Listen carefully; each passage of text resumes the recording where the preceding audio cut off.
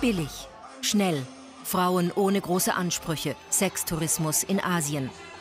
Auch auf den Philippinen prostituieren sich junge Frauen, um überleben zu können. Viele werden schwanger, da sie sich Verhütungsmittel nicht leisten können. Die Frauen bleiben allein zurück mit ihrem Nachwuchs und ihre Kinder werden gehänselt, weil ihre Haut zu weiß ist. Doch immer mehr Mütter versuchen, die Väter ihrer Kinder zu finden, um sie zur Kasse zu bitten. Manchmal führt ihre Suche sie bis in die Schweiz. Die Geschichte von Mary Ann und ihrer Tochter Grace.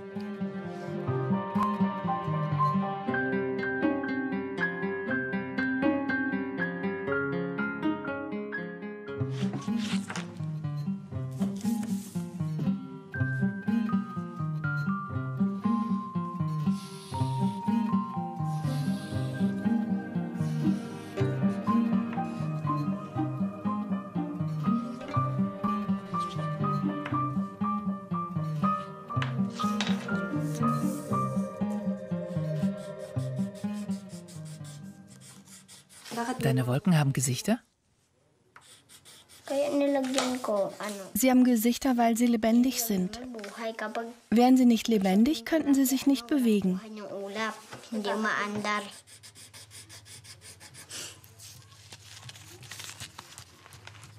Warum zieht eine so ein Gesicht?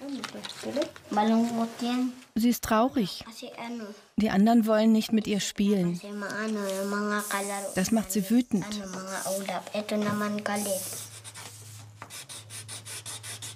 Ist dein Vater auch drauf? Er ist da. Was tut er? Nichts. Er liegt nur da.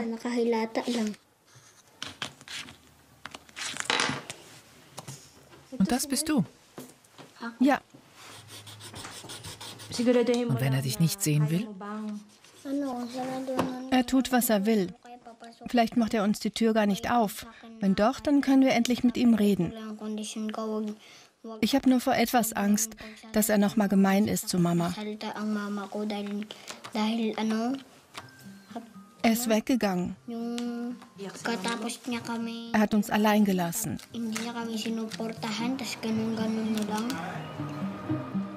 Grace ist acht Jahre alt und Philippiner. Sie ist 10.000 Kilometer geflogen, um in der Schweiz ihren Vater zu suchen, den sie nicht kennt. Einige Wochen vorher auf den Philippinen.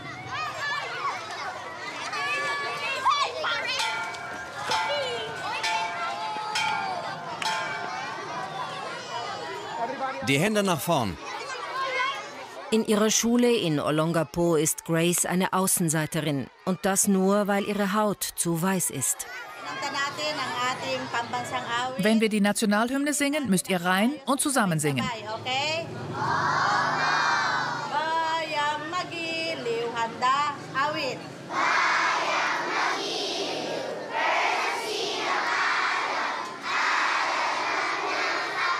Kinder wie Grace nennt man hier Milchfische. Jeder weiß, dass sie Kinder des Sextourismus sind. Das belastet Grace sehr. Magst du deine Schulkameraden? Nein. Warum magst du sie nicht? Manchmal schlagen sie mich. Sie sagen, ich sei Amerikanerin, deswegen hänseln sie mich. Meine Haut ist zu hell. Was sagen sie? Meine Mutter sei eine Nutte. Tut es dir weh, wenn sie das sagen?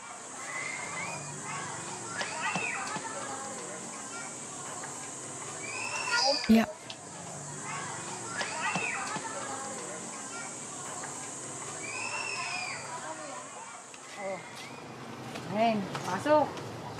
Geht rein, Kinder. Beeilt euch.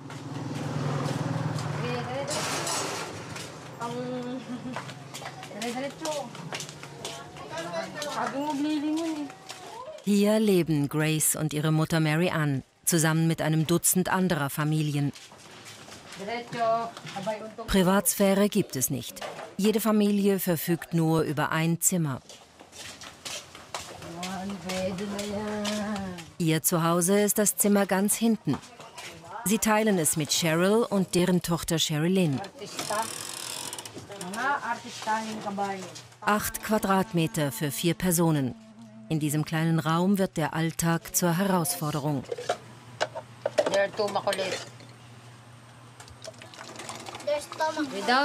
Wir legen den Karton hier hin, uh, holen den Teppich von draußen und die beiden Mädchen setzen sich drauf.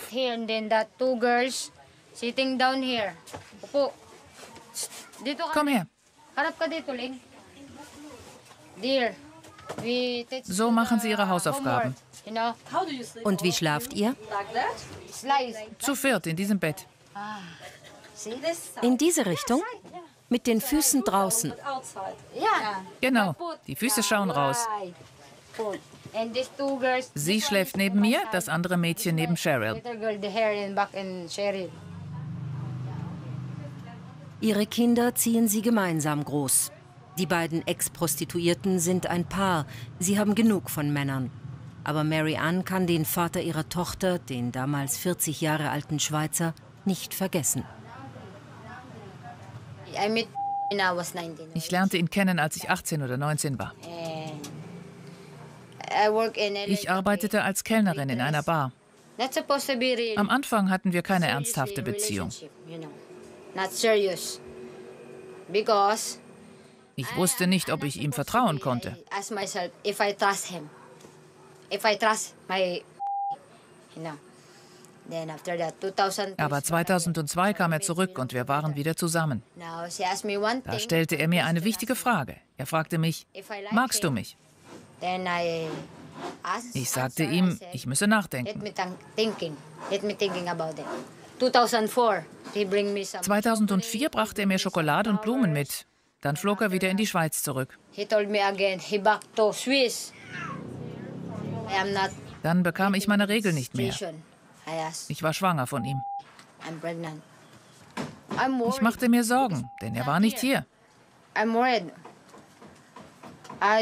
Ich wusste nicht, was ich tun sollte. Ich erwartete ein Kind von ihm.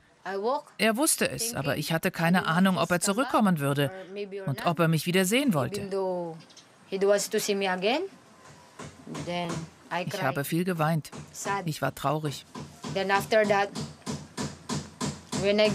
Dann kamen die Babys zur Welt. Es waren Zwillinge. twins, boys pass away. Der Junge starb. Nur das Mädchen hat überlebt. Er hat uns verlassen. Er hat mich und seine Tochter vergessen. Deshalb arbeitete ich in der Bar. Wegen meiner Tochter. Ich brauchte Geld. Er hat mich nie unterstützt. Das akzeptiere ich. Er kam nie mehr zurück. Ich weiß nicht warum. I try to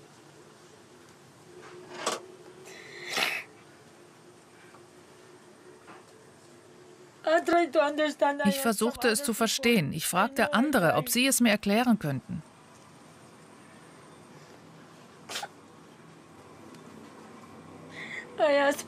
Ich fragte sie, warum kommt er nicht zurück?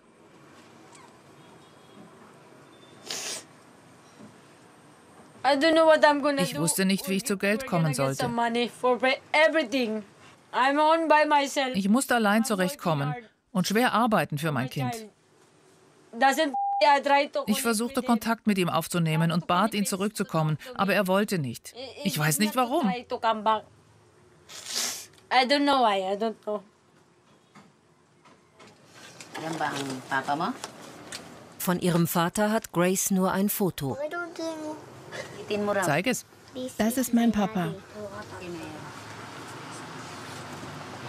I love you. Ich liebe dich, Papa. Mahal na mahal kita, bakit ako'y iniwan mo? Na-apologize when I realize na wala kang kwentang boyfriend. Ayoko Ein Vater, der Sextourist ist und eine Mutter, die in der Bar arbeitet. Kinder wie Grace gibt es auf den Philippinen Zehntausende.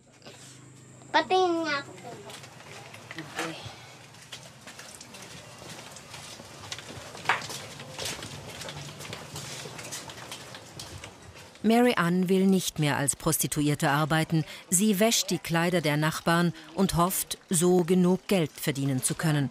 Sie will ihre Tochter vor dem gleichen Schicksal bewahren. I wash.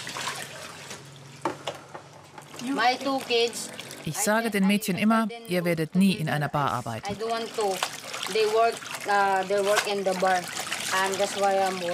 Aber ich habe Angst. Ich muss sie schützen. Ich lasse nicht zu, dass ihnen, wie mir, ein Mann das Herz bricht.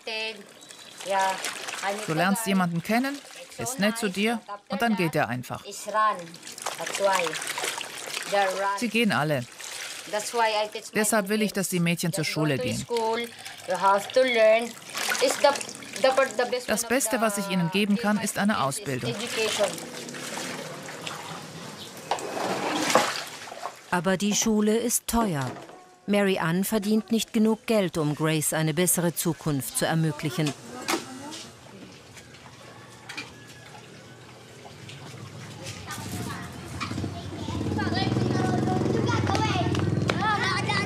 Andern Tags besuchen zwei Sozialarbeiterinnen Mary Ann. Sie hat sie um Hilfe gebeten. Sie will, dass der Vater von Grace endlich Alimente zahlt. Hello. Guten Tag, Marianne. Mary Ann. Ich habe Leute von der Organisation Renew mitgebracht. Sie ist eine Freundin.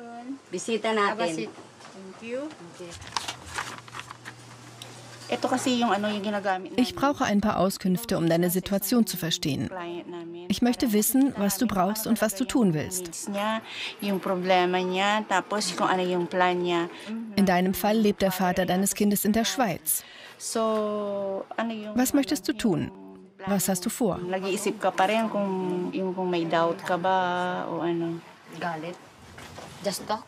Ich bin wütend. Ich muss mit ihm reden. Ich werde ihn begrüßen und dann hängt alles von ihm ab.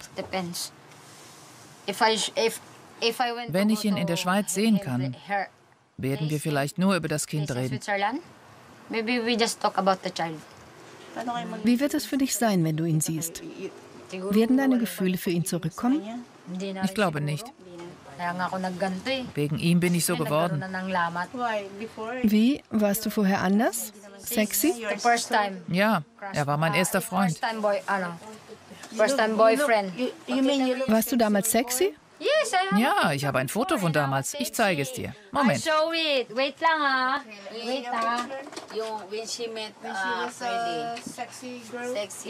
Ja, ich war attraktiv. Tadan! So sah ich aus, als ich ihn kennengelernt habe. Ich war I 19. was modeling before. Ich habe sogar als Model gearbeitet. Der Vater von Grace hat Freunde hier. Ich besuchte sie ab und zu mit dem Baby, um nach ihm zu fragen. Eines. Tages erzählten sie mir, er habe geheiratet. Ich war verletzt, als ich das hörte. Es tat sehr weh. Masakit para sa akin. Hast du Dokumente oder Informationen über den Vater? Ah, Ich habe nur seine Adresse. Zeig sie mir. Die Telefonnummer steht auch drauf. Ah, ah, Gut, behalte den Zettel. Das ist das Einzige, was ich von ihm habe. Ich hebe den Zettel für Grace auf. Es ist wichtig. Wenn sie einmal heiratet und ihn besuchen will, kann ich ihn ihr geben. Put in this one, then I give it to her. That's why. can... Mili, Re. Ob eine acht Jahre alte Adresse und Telefonnummer ausreichen werden, um den Vater zu finden? Die Sozialarbeiterin bringt die Informationen zum Leiter der Nichtregierungsorganisation Renew. Paulo Fuller setzt alles daran, Väter wie den von Grace zu finden. Wurde das Foto in Olongapo gemacht? Ja, in der Barretto-Grundschule. Oh, Wir haben also Adresse, Name, Telefonnummer und Nationalität. Es ist alles da. Das ist einfach. It's easy to do.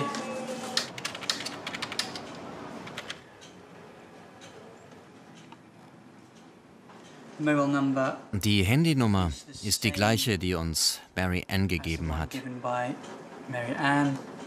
the Name same, stimmt, also muss das die Adresse sein. Hier ist es. Zoomen wir näher ran. Das muss die Straße sein. Höchstwahrscheinlich lebt er da. Die. Straße ist ein bis zwei Kilometer vom Dorf entfernt. Es ist ein Skigebiet. Man sieht die Skihänge.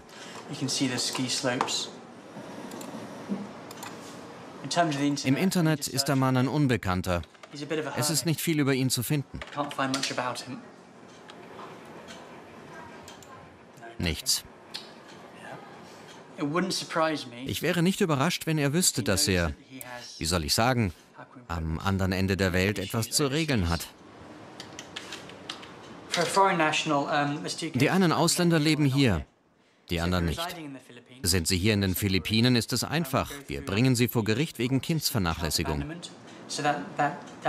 Das Gesetz ist eindeutig. Väter müssen zahlen, egal ob die Mutter ihre Frau oder Geliebte ist. Das spielt vor Gericht keine Rolle. Also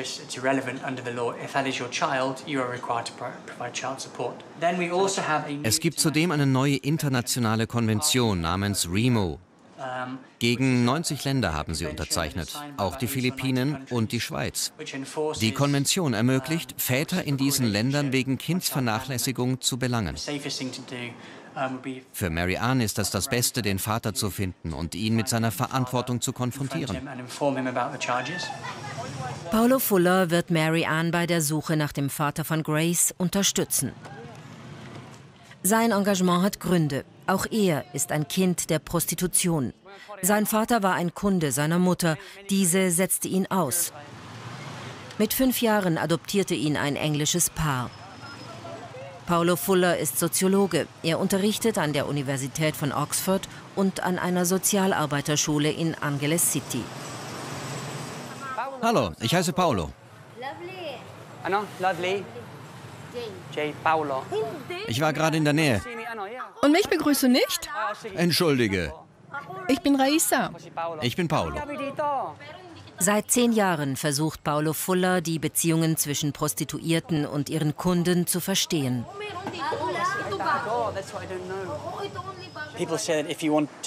Die Männer, die nur Sex wollen, gehen nach Thailand. Dieses Land ist perfekt für One-Night-Stands. Sextouristen, die auf die Philippinen kommen, wollen erleben, wie es ist, eine Freundin zu haben. Das heißt, sie buchen eine Frau für längere Zeit. Manch einer will den ganzen Urlaub mit ihr verbringen und bezahlt sie für ein bis drei Wochen, damit sie mit ihm Ferien macht, anstatt in der Bar zu arbeiten. Dadurch kommen sich die beiden näher. Viele Frauen hoffen, dass die Beziehung zum Sextouristen mehr wird als nur ein bezahltes Verhältnis. Sie hoffen, dass er sie heiratet, sie aus der Armut befreit und von den Philippinen fortbringt. Natürlich denken die Männer anders. Sie wollen letztlich nur Sex. Die Begegnungen finden in Bars wie dieser in Angeles City statt. Die gesamte Stadt lebt vom Sex. Ausnahmslos alle Touristen sind Männer. Europäer, Amerikaner, Australier. Und alle wollen nur das eine. Sex.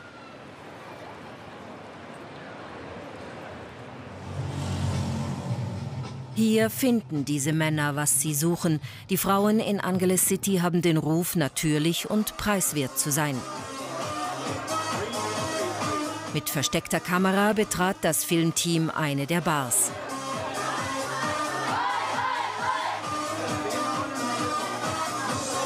Die Frauen sind jung und wirken unverdorben, weit entfernt vom Klischee der Prostituierten.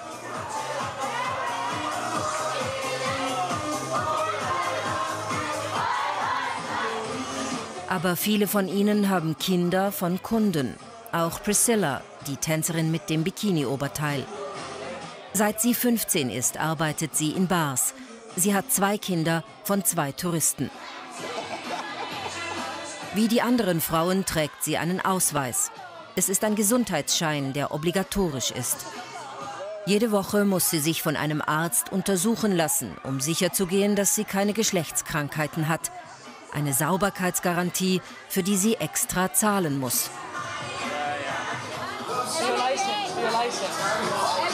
Wie viel zahlen Sie pro Woche für das Zertifikat? 100 Pesos. Wie viel hat die Erstausstellung gekostet?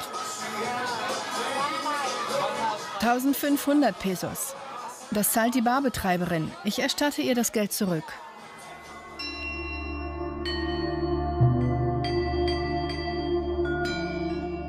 Kein AIDS, keine Geschlechtskrankheiten. Die Folge, viele Kunden fordern ungeschützten Geschlechtsverkehr. Verhütungsmittel sind zu teuer für die Frauen.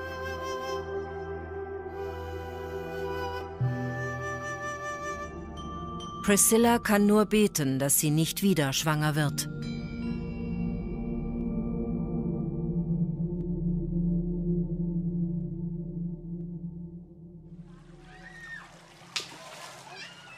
Sie lebt in einem Slum von Angeles City.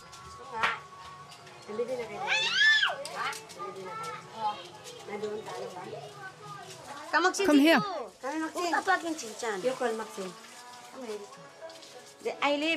Das ist meine Tochter Maxine. Das ist meine Mutter. Wir leben hier alle zusammen. Wie viel Miete bezahlen Sie? 1200 Pesos. Nagbabayad ako dito ng 1,200 peso. No, no more light. Sandali ma. Ah, inclu ah, Dazu kommen Strom und Wasser. including the paying electric and water. Als Tänzerin verdient Priscilla umgerechnet 35 Euro im Monat. Damit kann sie ihre Familie nicht ernähren. Der Vater, ein 60-jähriger Australier, zahlt keinerlei Unterhalt für seine Tochter, obschon er von ihrer Existenz weiß und regelmäßig auf die Philippinen kommt, um sich mit anderen Frauen zu treffen. Priscilla ist zu einem Nebenerwerb gezwungen. Ich sammle Sachen aus Plastik, zum Beispiel Flaschen und Metall, was ich halt auf der Straße oder bei den Nachbarn finde. Dann verkaufe ich es auf der Deponie. Wie viel verdienen Sie für einen Sack? Manchmal 75 Pesos. Für das hier bekomme ich rund 40 Pesos. Das ist nicht viel. 40 peso. Because not much. Pasok natin dyan, bilis. Kuya Roger. 40 Pesos sind weniger als ein Euro. Das Geld braucht Priscilla sofort. Sie muss Reis für das heutige Essen kaufen. Doch nach dem Wiegen bringt ihr Sammelgut nur noch die Hälfte ein. 23 pesos.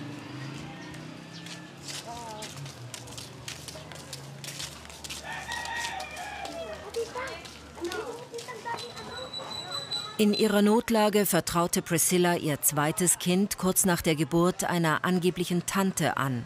Das war vor einem Jahr. Seither hat sie nichts von ihm gehört. Priscilla macht sich große Sorgen. Sie will auf die Insel Mindanao fahren, wo ihre angebliche Tante lebt. Um reisen zu können, braucht sie ihre Identitätskarte.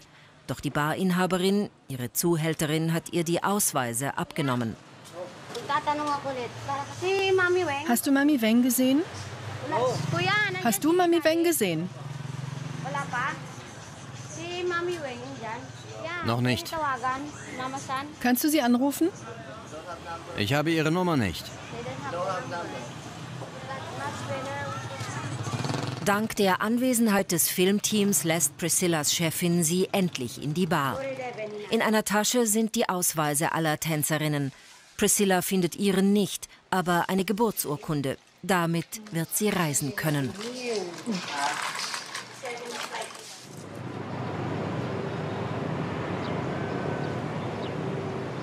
Das letzte Mal war Priscilla mit vier Jahren auf der Insel Mindanao.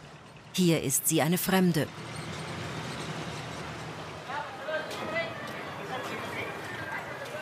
Ich kenne mich hier nicht aus. Können Sie mir weiterhelfen? Wen suchen Sie? Die Familie Kandari. Ich heiße Kandari. Du bist ein Kandari? Das ist deine Cousine. Wer sucht die Kandaris? Ich. Meine Mutter heißt Norma. Du bist Normas Tochter. Dann sind wir Cousinen. Cousin. Edrin bringt dich zu deiner Familie. Ich suche mein Baby. Alle Kandaris leben hier. Keine Sorge.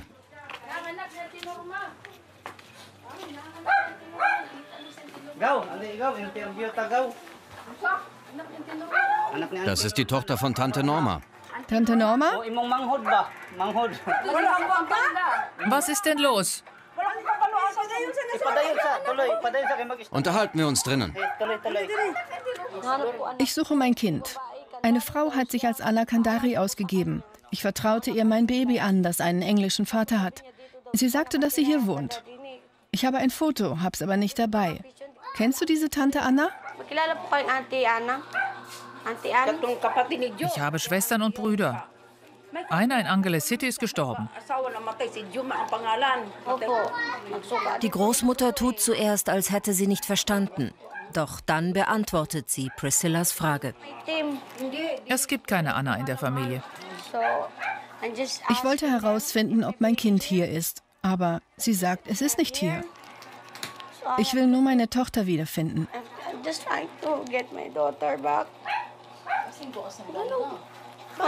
Priscilla realisiert, dass ihr Kind verschwunden ist. Kinderraub ist auf den Philippinen keine Seltenheit.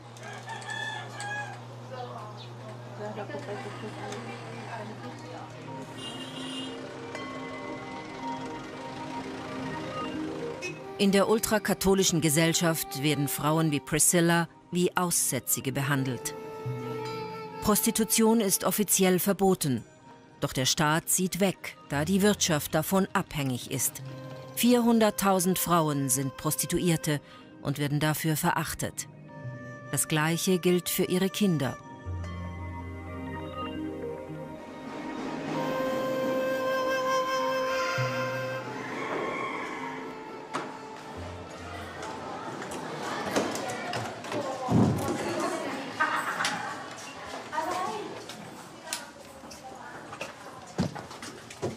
Frey ist Mitte 30. Sie hat nie etwas anderes erfahren als Ablehnung. Sie ist das Kind eines Afroamerikaners, der schlimmste Fall.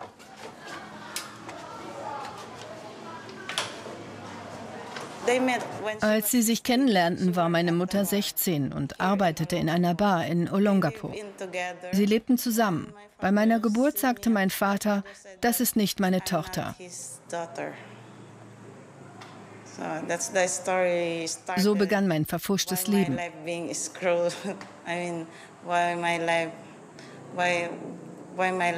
Mein Leben wurde düster. Düster? Auch meine Mutter wollte mich nicht. Sie sagte immer, ich hätte ihr Leben ruiniert. Wegen meiner Hautfarbe konnte sie nicht normal leben. Jeder sah, dass sie eine Prostituierte war, eine schmutzige Frau.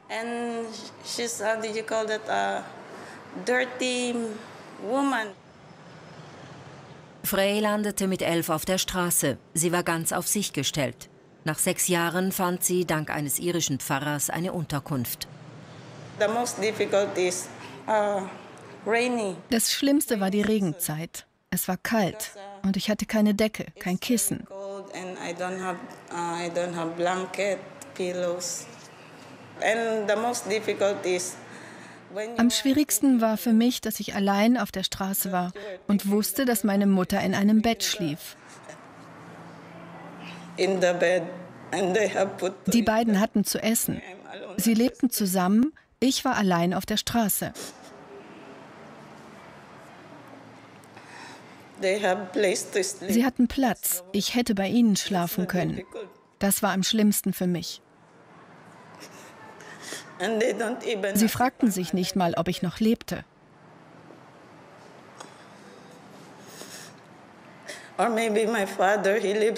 Mein Vater hatte viel Geld und war vielleicht dabei, Bier zu trinken und Spaß zu haben. Und ich war auf der Straße. Dieser Gedanke war unerträglich. But may I stay at the street?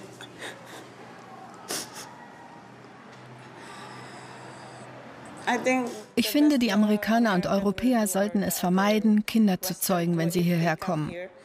Sie können sich amüsieren, sexuelle Dienste kaufen, dürfen aber keine Kinder zeugen.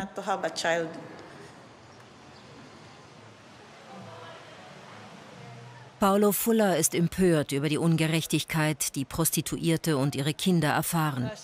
Daher geht er bis zum Äußersten, um die Väter zu finden. Er ist einem Deutschen auf der Spur, der einen Sohn mit einer Bartänzerin hat. Mit Hilfe von zwei seiner Soziologiestudentinnen will Paulo Fuller ihn zur Rede stellen. Ich hatte einen intensiven SMS-Austausch mit ihm. Ich habe mich für eine Frau ausgegeben. Er meint, ich wolle ihn kennenlernen. Er hat den Köder geschluckt, er ist interessiert. Das schreibt er in seiner letzten SMS. Wir müssen ihn heute treffen. Kannst du dich als diese Frau ausgeben und hier ein Treffen mit ihm ausmachen? Wenn möglich heute Abend? So kann ich ihm die Gerichtsvorladung aushändigen.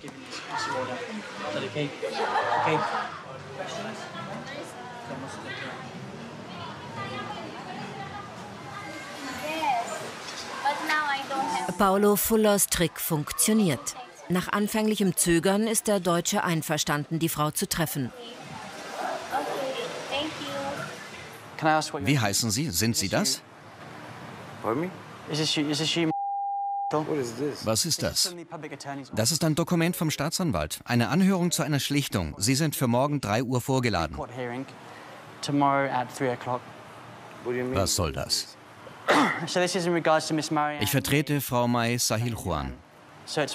Es geht um das Regeln der Alimente. Morgen, 15 Uhr, in der Staatskanzlei. Hier ist die Adresse. Der Staatsanwalt ist mit Ihrem Fall betraut. Es wird um Ihren Beitrag zur Unterstützung Ihres Kindes gehen. Sie haben das Recht, einen Anwalt mitzubringen. Wer sind Sie? Ich bin Dr. Paulo Fuller. Ich vertrete Frau May. Der Staatsanwalt hat mich beauftragt, Ihnen diese Vorladung zu überbringen.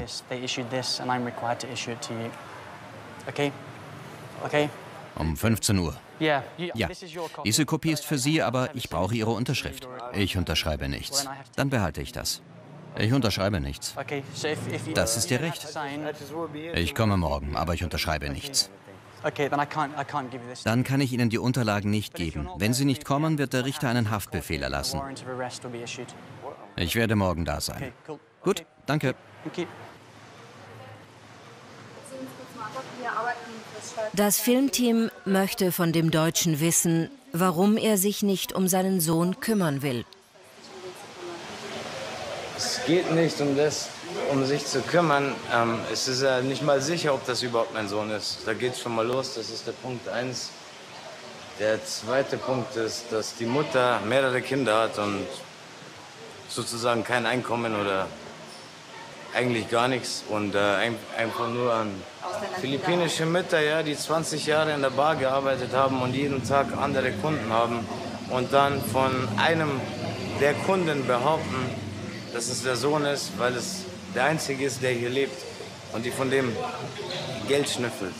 Ja. Sie wissen ja gar nicht, was hier, was, was, was hier los ist. Ja. Also, es muss erstmal überprüft werden, dass das mein Sohn wirklich ist. Wart ihr nicht eine Weile zusammen? Nein, es war ein einziger Abend, an dem ich betrunken war und das war alles. Ja. Dafür schäme ich mich bis heute noch.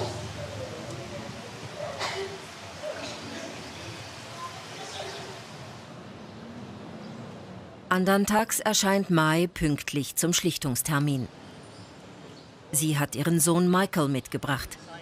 Der Termin ist entscheidend. Unterhaltszahlungen würden alles ändern. Wie geht es dir? Endlich sind wir hier. Und gestern Abend? Er hat mich angerufen. Was hat er gesagt? Er sagte, bist du verrückt geworden? Warum hast du mich angeschwärzt? Warum lädst du das Fernsehen ein? Ich habe nichts gesagt und aufgehängt. Das ist das Beste. Gar nicht darauf eingehen. Verzeih, wenn ich das so sage, aber er hat einen Haufen Scheiße erzählt. Das tut er, wenn er betrunken ist. Er wird wohl auch heute Scheiße erzählen. Das ist mir egal. Lass dich nicht einschüchtern, auch wenn er dich beleidigt. Bleib einfach bei der Sache. Das ist die Geburtsurkunde vom Vater unterschrieben. Kann ich sie sehen?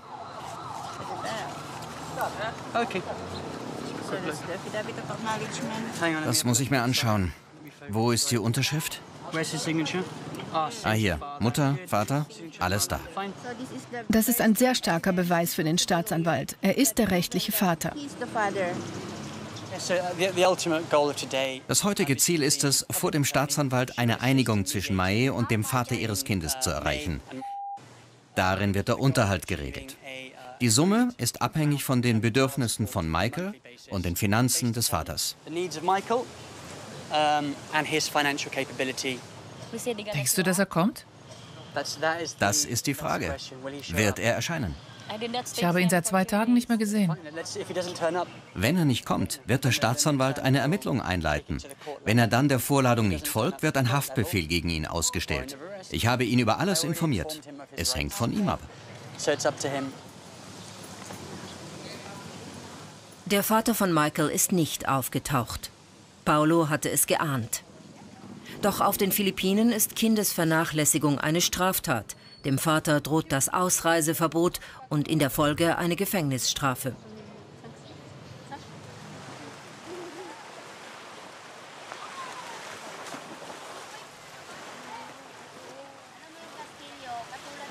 Zurück zu Grace.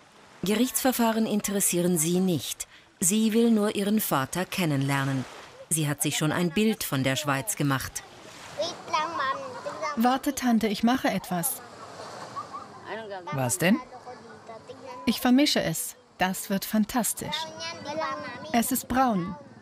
Es ist Schokolade. Hättest du gern Schweizer Schokolade? Ja.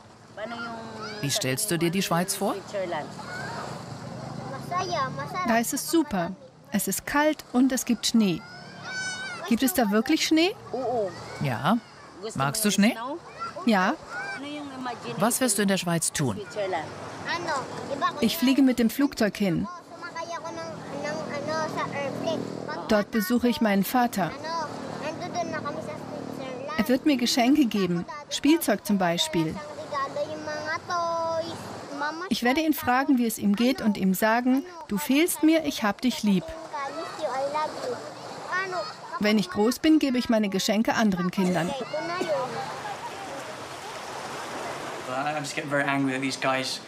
Diese Männer machen mich wütend, weil sie ihre eigenen Gefühle verdrängen. Eigentlich hätten viele gern Kontakt zu ihren Kindern, aber ihnen steht immer etwas im Wege. Es ist armselig, wie sie vor der Realität und ihrer Verantwortung fliehen.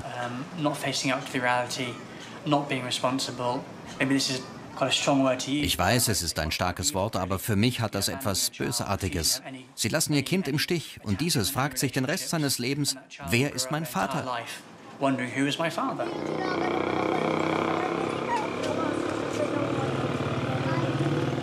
Für Paulo Fuller ist es unerlässlich, dass Grace ihren Vater kennenlernt. Zusammen mit der Nichtregierungsorganisation, die Mary Ann und Grace psychologisch betreut, organisiert das Filmteam ihre Reise in die Schweiz. Grace kann endlich das Land ihres Vaters kennenlernen. Alle sind gekommen, um sich zu verabschieden. Grace freut sich. Für ihre Mutter ist es schwieriger. Jetzt vor meiner Reise in die Schweiz bin ich traurig und habe etwas Angst vor dem Moment, in dem ich den Vater meiner Tochter sehe.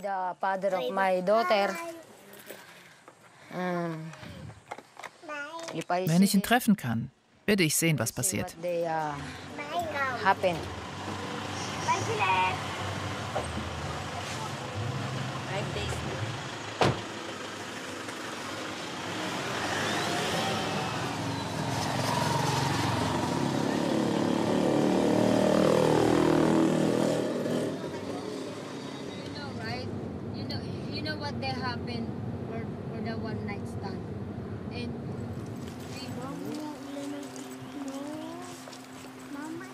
Mama, es regnet Schnee. Nein, das ist Eis. Wo geht es hier rein?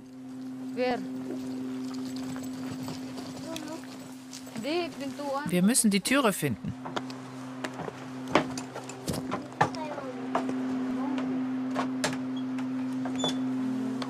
Das Filmteam hat eine Hütte gemietet, um ein Treffen mit dem Vater von Grace zu ermöglichen.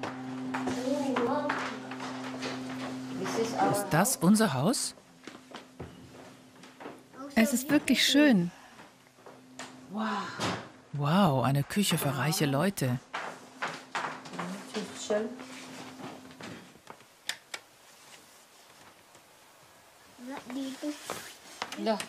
Nein, der Lichtschalter ist drinnen. Willst du oben oder unten schlafen? Unten. Nein, du schläfst oben. Oben bekomme ich Angst.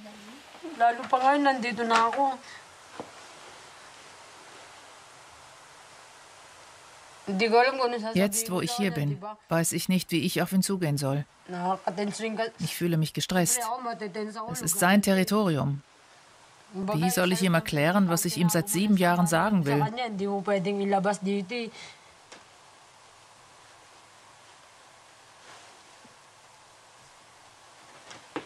Es ist hart. Am Abend ruft Mary Ann den Vater von Grace an.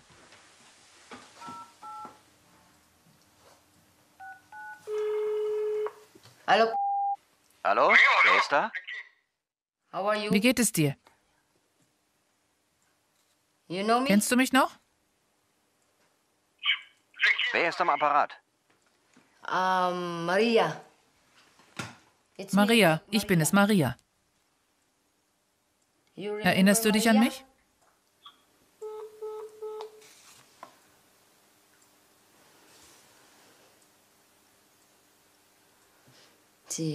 Ich wusste, dass er auflegt. Er hat gefragt, wer am Apparat ist.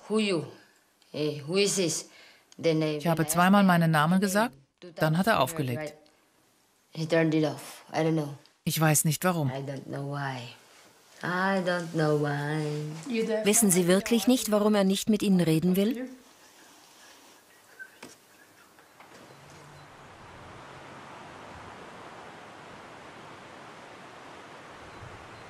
Am nächsten Tag erzählt Mary Ann, dass sich der Vater von Grace am Anfang um seine Tochter kümmern wollte. Sechs Monate lang schickte er ihr Geld, insgesamt 2500 Euro. Von dem Geld ist nichts geblieben.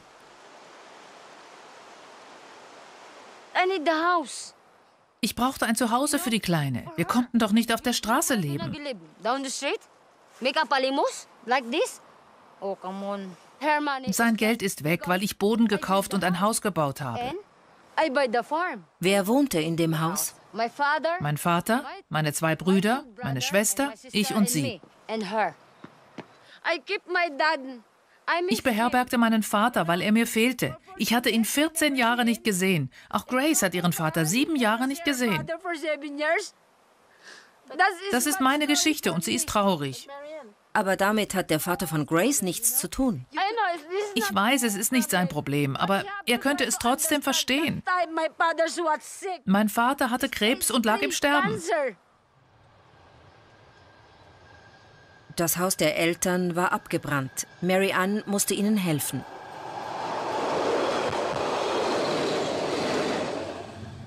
Heute will sie den Vater von Grace zur Rede stellen.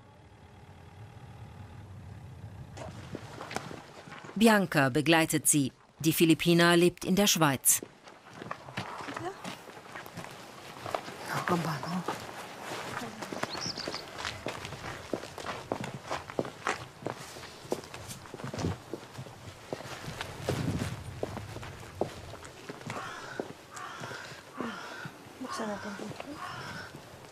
Anong gagawin?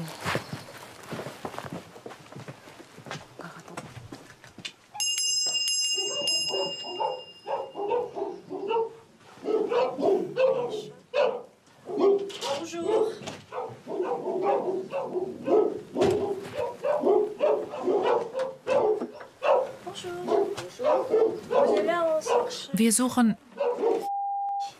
Auf der anderen Seite. Danke.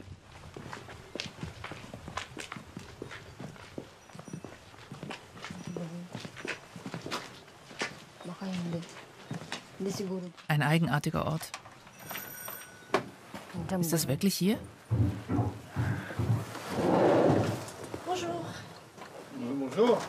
Bonjour.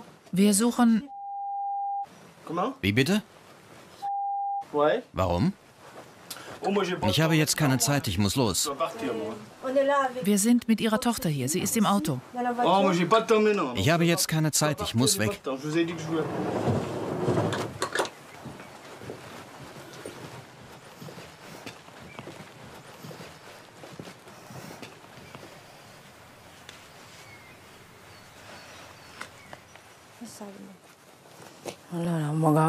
Was soll ich tun?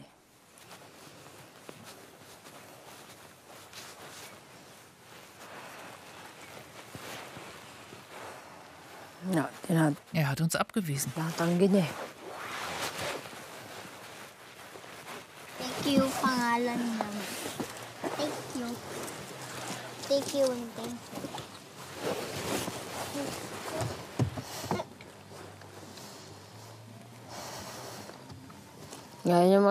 Er will nicht reden.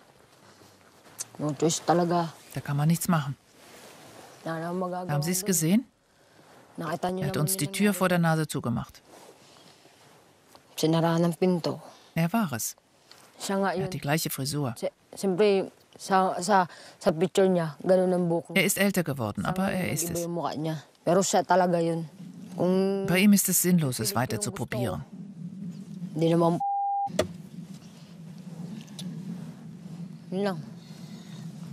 Kann es nur Gott überlassen. Der Vater von Grace verlässt das Haus. Das Filmteam stellt ihn zur Rede. Ist es so schwierig? Wenn ich nicht ihr Vater bin, wird das heikel. Vielleicht gewinnt sie mich lieb. Und dann? Ich kenne ihre Mutter sehr gut. Auf den Philippinen haben wir zusammen gelebt, in meinem Haus. Es war eine Katastrophe. Am Morgen kamen alle von ihrer Familie zum Essen. Als sie mir sagte, sie sei schwanger, hatte ich es schon akzeptiert. Ich sagte ihr, ich helfe dir ein bisschen, aber du musst sparen. Ich habe eine Freundin in Olongapo. Ich habe mit ihr telefoniert. Ab und zu treffe ich sie auch hier. Sie sagte mir, es bringt nichts mehr zu schicken. Sie verbraucht eh alles. Man kennt diese Leute. Sie bekommen nichts auf die Reihe.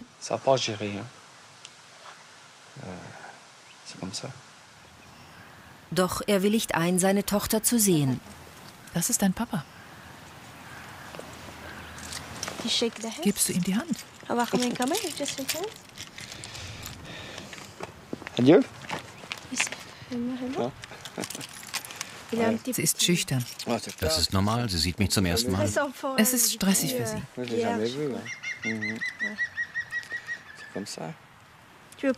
Du kannst ihm die Hand geben und Hallo sagen.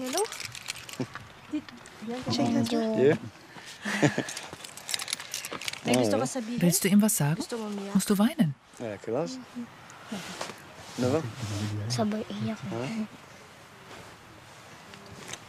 Wie alt bist du?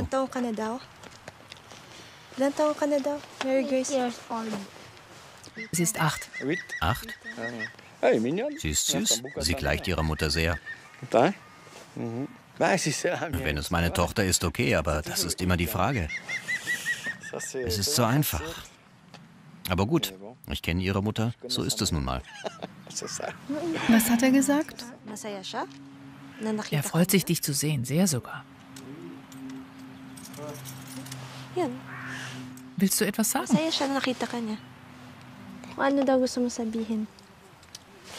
Dein Vater würde gerne wissen, was in dir vorgeht.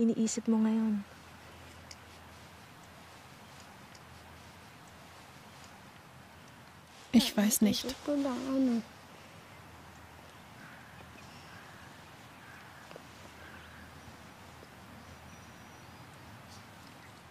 Komm schon, du kannst sagen, was du willst. Sagst du es mir ins Ohr?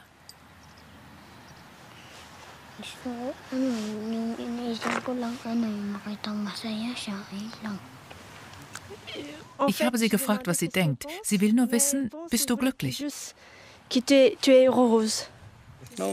geht. Sie hofft, dass sie ihr nicht böse sind. Natürlich nicht. Er hat gesagt, er ist nicht böse.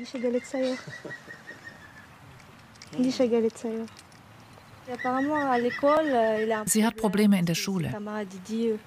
Sie wird gehänselt, weil sie nicht dieselbe Hautfarbe hat. Also wirklich.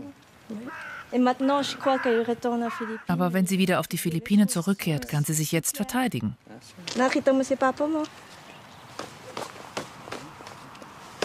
Sa tingin mo, ano yung nakuha mo sa papa mo? Yung ilong niya?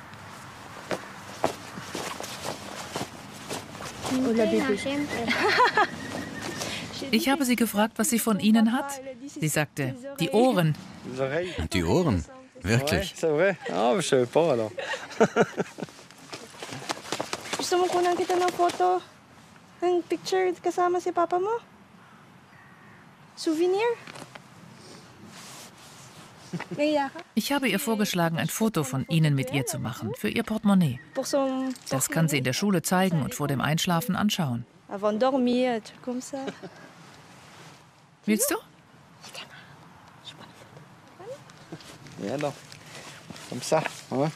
Mit den Bergen. Auf den Bergen liegt Schnee. Sie sollte Französisch lernen. Sie lernt schnell. Sie liebt den Schnee. Ich glaube, morgen wird es schneien. Ja, Schnee gibt es hier genug.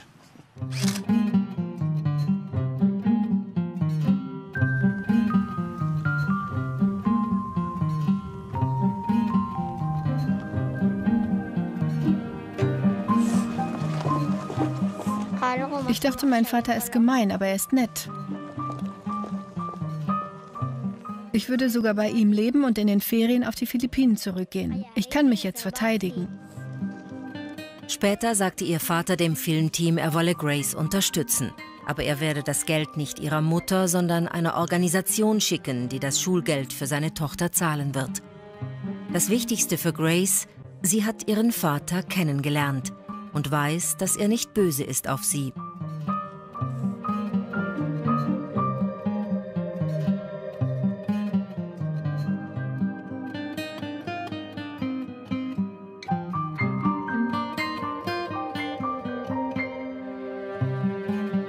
Begrüße nicht?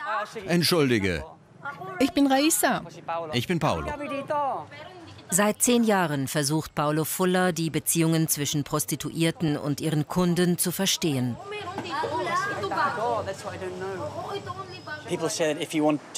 Die Männer, die nur Sex wollen, gehen nach Thailand. Dieses Land ist perfekt für One-Night-Stands.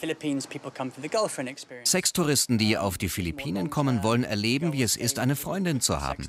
Das heißt, sie buchen eine Frau für längere Zeit. Manch einer will den ganzen Urlaub mit ihr verbringen und bezahlt sie für ein bis drei Wochen, damit sie mit ihm Ferien macht, anstatt in der Bar zu arbeiten. Dadurch kommen sich die beiden näher. Viele Frauen hoffen, dass die Beziehung zum Sextouristen mehr wird als nur ein bezahltes Verhältnis. Sie hoffen, dass er sie heiratet, sie aus der Armut befreit und von den Philippinen fortbringt. Natürlich denken die Männer anders. Sie wollen letztlich nur Sex. Die Begegnungen finden in Bars wie dieser in Angeles City statt. Die gesamte Stadt lebt vom Sex. Ausnahmslos alle Touristen sind Männer, Europäer, Amerikaner, Australier und alle wollen nur das eine, Sex.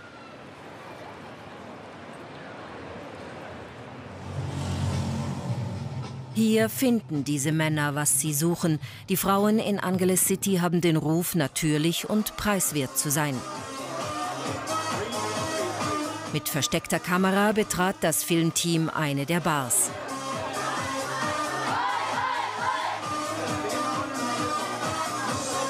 Die Frauen sind jung und wirken unverdorben, weit entfernt vom Klischee der Prostituierten.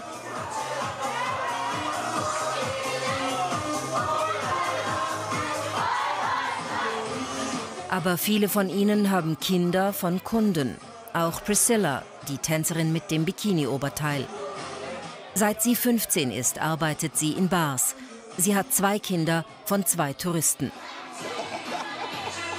Wie die anderen Frauen trägt sie einen Ausweis. Es ist ein Gesundheitsschein, der obligatorisch ist. Jede Woche muss sie sich von einem Arzt untersuchen lassen, um sicherzugehen, dass sie keine Geschlechtskrankheiten hat. Eine Sauberkeitsgarantie, für die sie extra zahlen muss. Wie viel zahlen Sie pro Woche für das Zertifikat? 100 Pesos. Wie viel hat die Erstausstellung gekostet? 1500 Pesos. Das zahlt die Barbetreiberin. Ich erstatte ihr das Geld zurück.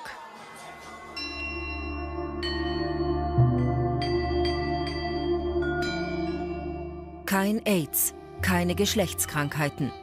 Die Folge, viele Kunden fordern ungeschützten Geschlechtsverkehr. Verhütungsmittel sind zu teuer für die Frauen.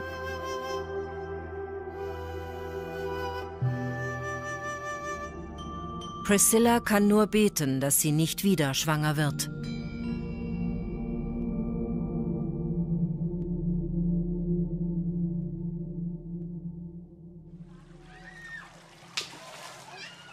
Sie lebt in einem Slum von Angeles City.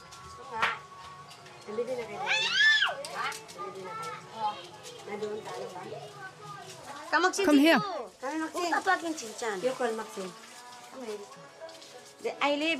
Das ist meine Tochter Maxine.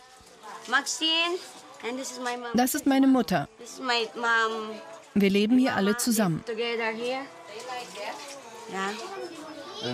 Wie viel Miete bezahlen Sie? 1200 Pesos. Nagbabayad ako dito ng 1,200 peso. No, no more light. Sandali ma. Uh, inclu uh, Dazu kommen Strom und Wasser.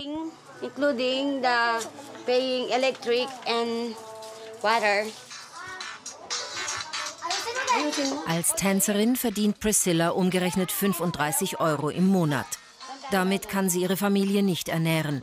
Der Vater, ein 60-jähriger Australier, zahlt keinerlei Unterhalt für seine Tochter, obschon er von ihrer Existenz weiß und regelmäßig auf die Philippinen kommt, um sich mit anderen Frauen zu treffen.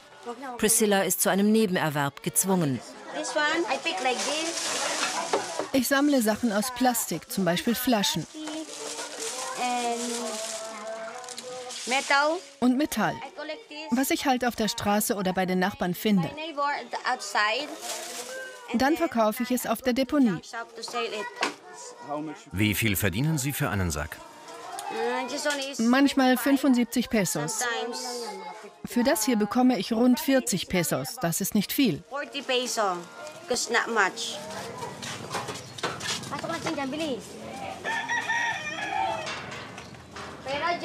40 Pesos sind weniger als ein Euro. Das Geld braucht Priscilla sofort. Sie muss Reis für das heutige Essen kaufen.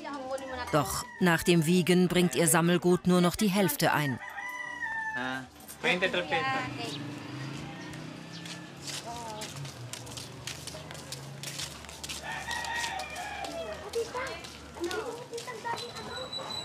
In ihrer Notlage vertraute Priscilla ihr zweites Kind kurz nach der Geburt einer angeblichen Tante an.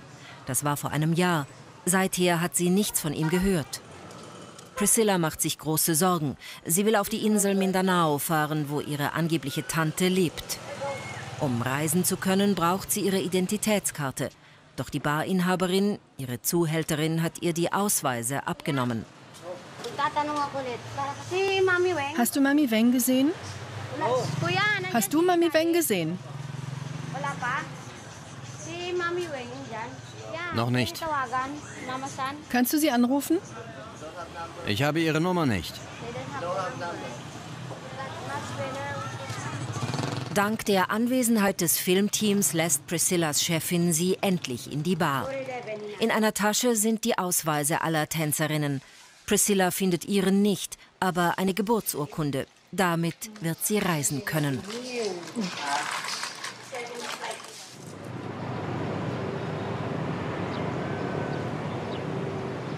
Das letzte Mal war Priscilla mit vier Jahren auf der Insel Mindanao. Hier ist sie eine Fremde.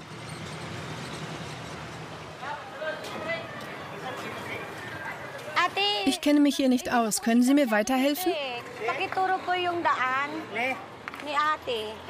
Wen suchen Sie? Die Familie Kandari. Ich heiße Kandari. Du bist ein Kandari? Das ist deine Cousine. Wer sucht die Kandaris? Ich. Meine Mutter heißt Norma. Du bist Normas Tochter. Dann sind wir Cousinen. Cousin Edrin bringt dich zu deiner Familie. Ich suche mein Baby. Alle Kandaris leben hier. Keine Sorge.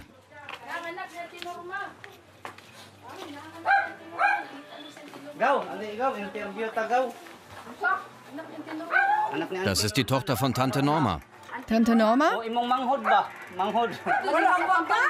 Was ist denn los? Unterhalten wir uns drinnen.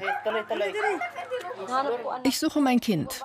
Eine Frau hat sich als Alakandari ausgegeben. Ich vertraute ihr mein Baby an, das einen englischen Vater hat. Sie sagte, dass sie hier wohnt. Ich habe ein Foto, hab's aber nicht dabei. Kennst du diese Tante Anna? Ich habe Schwestern und Brüder. Einer in Angeles City ist gestorben. Die Großmutter tut zuerst, als hätte sie nicht verstanden. Doch dann beantwortet sie Priscillas Frage. Es gibt keine Anna in der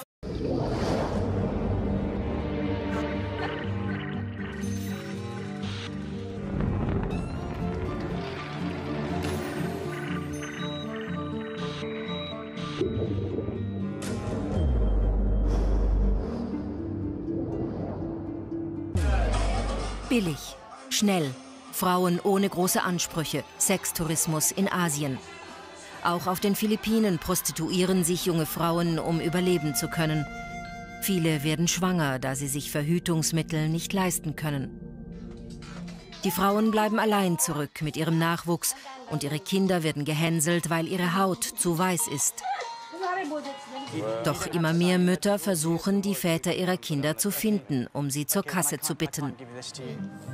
Manchmal führt ihre Suche sie bis in die Schweiz. Die Geschichte von Mary Ann und ihrer Tochter Grace.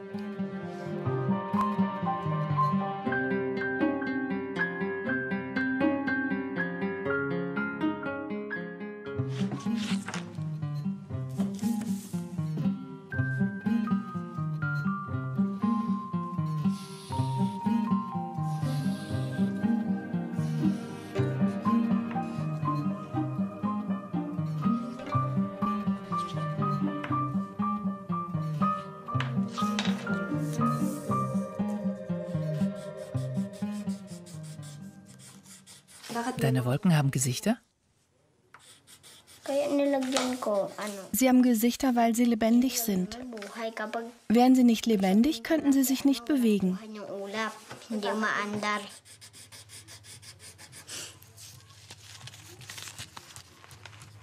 Warum zieht eine so ein Gesicht? Sie ist traurig. Die anderen wollen nicht mit ihr spielen. Das macht sie wütend.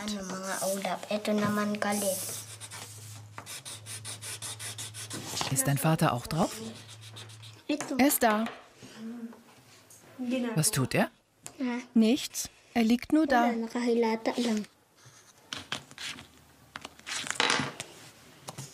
Und das bist du? Ja. Und wenn er dich nicht sehen will? Er tut, was er will. Vielleicht macht er uns die Tür gar nicht auf. Wenn doch, dann können wir endlich mit ihm reden.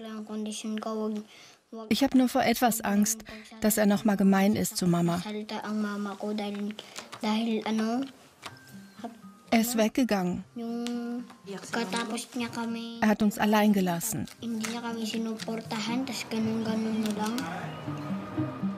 Grace ist acht Jahre alt und Philippiner. Sie ist 10.000 Kilometer geflogen, um in der Schweiz ihren Vater zu suchen, den sie nicht kennt. Einige Wochen vorher auf den Philippinen.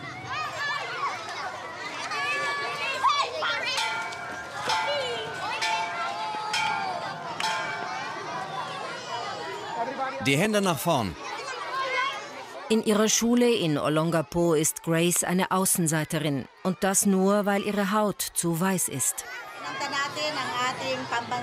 Wenn wir die Nationalhymne singen, müsst ihr rein und zusammen singen.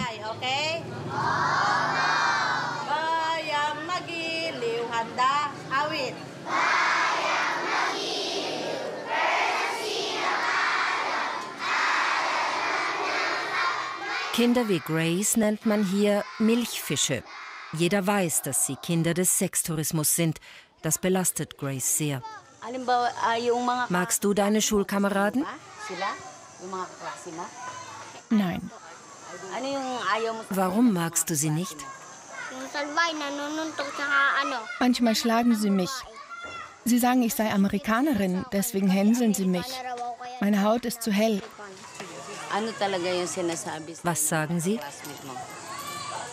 Meine Mutter sei eine Nutte. Tut es dir weh, wenn sie das sagen?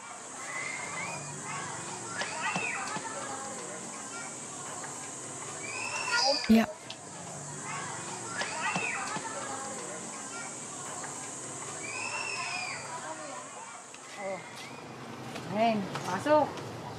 Geht rein, Kinder. Beeilt euch.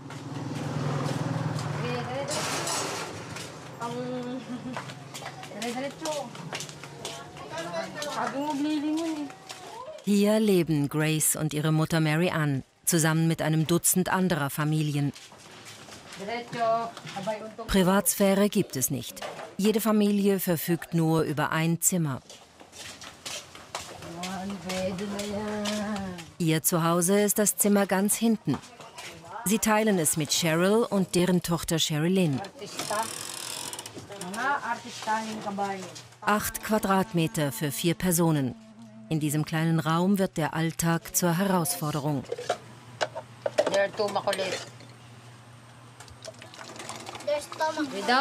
Wir legen den Karton hier hin, holen den Teppich von draußen und die beiden Mädchen setzen sich drauf.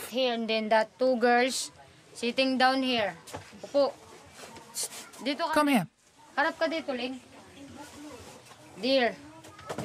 So machen sie ihre Hausaufgaben. Und wie schlaft ihr? Zu viert in diesem Bett. In diese Richtung? Mit den Füßen draußen. Genau, die Füße schauen raus. Sie schläft neben mir, das andere Mädchen neben Cheryl. Ihre Kinder ziehen sie gemeinsam groß. Die beiden Ex-Prostituierten sind ein Paar. Sie haben genug von Männern. Aber Mary Ann kann den Vater ihrer Tochter, den damals 40 Jahre alten Schweizer, nicht vergessen. Ich lernte ihn kennen, als ich 18 oder 19 war. Ich arbeitete als Kellnerin in einer Bar. Am Anfang hatten wir keine ernsthafte Beziehung. Ich wusste nicht, ob ich ihm vertrauen konnte.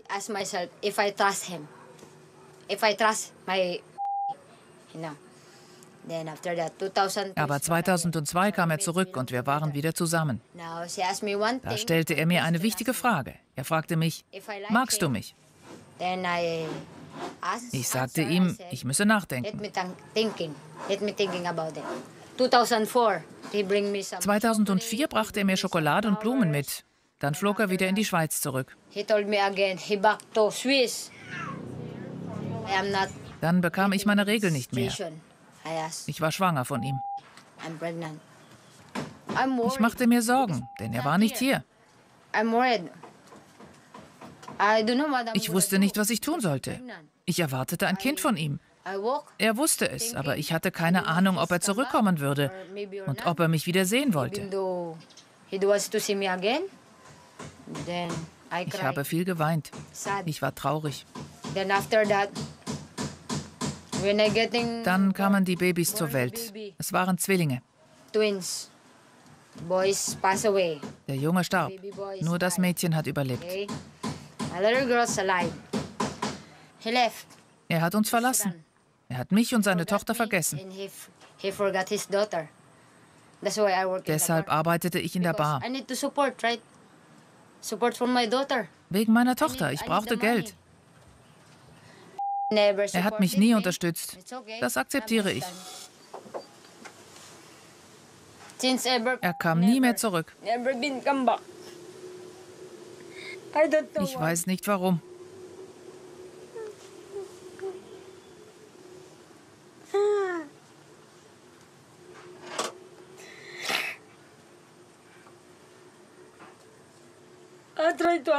Ich versuchte es zu verstehen. Ich fragte andere, ob sie es mir erklären könnten.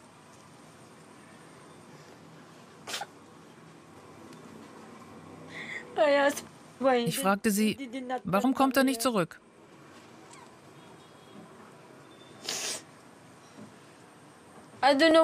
Ich wusste nicht, wie ich zu Geld kommen sollte. Ich musste allein zurechtkommen und schwer arbeiten für mein Kind. Ich versuchte Kontakt mit ihm aufzunehmen und bat ihn zurückzukommen, aber er wollte nicht. Ich weiß nicht warum.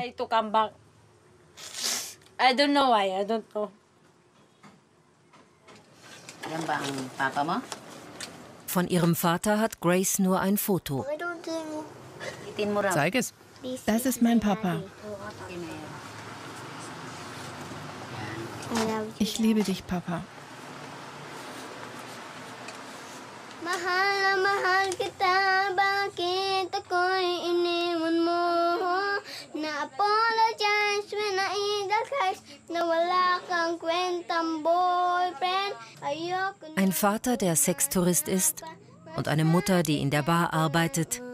Kinder wie Grace gibt es auf den Philippinen Zehntausende. Patingin nga ako.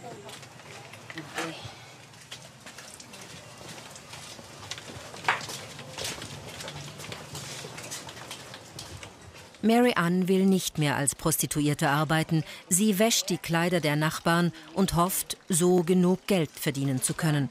Sie will ihre Tochter vor dem gleichen Schicksal bewahren.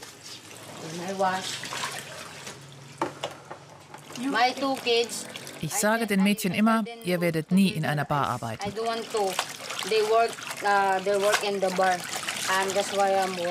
Aber ich habe Angst. Ich muss sie schützen. Ich lasse nicht zu, dass ihnen, wie mir, ein Mann das Herz bricht. Du lernst jemanden kennen, ist nett zu dir und dann geht er einfach.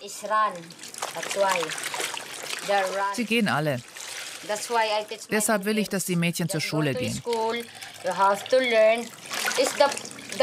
Das Beste, was ich ihnen geben kann, ist eine Ausbildung.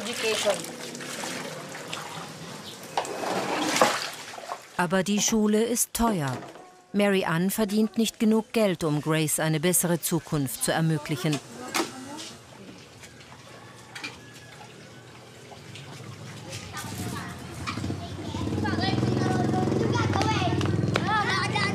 Anderntags besuchen zwei Sozialarbeiterinnen Mary Ann. Sie hat sie um Hilfe gebeten. Sie will, dass der Vater von Grace endlich Alimente zahlt. Hallo. Guten Tag, Mary Ann. Ich habe Leute von der Organisation Renew mitgebracht. Sie ist eine Freundin.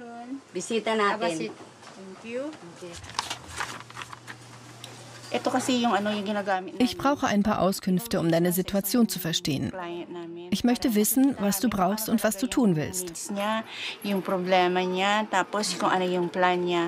In deinem Fall lebt der Vater deines Kindes in der Schweiz. Was möchtest du tun? Was hast du vor?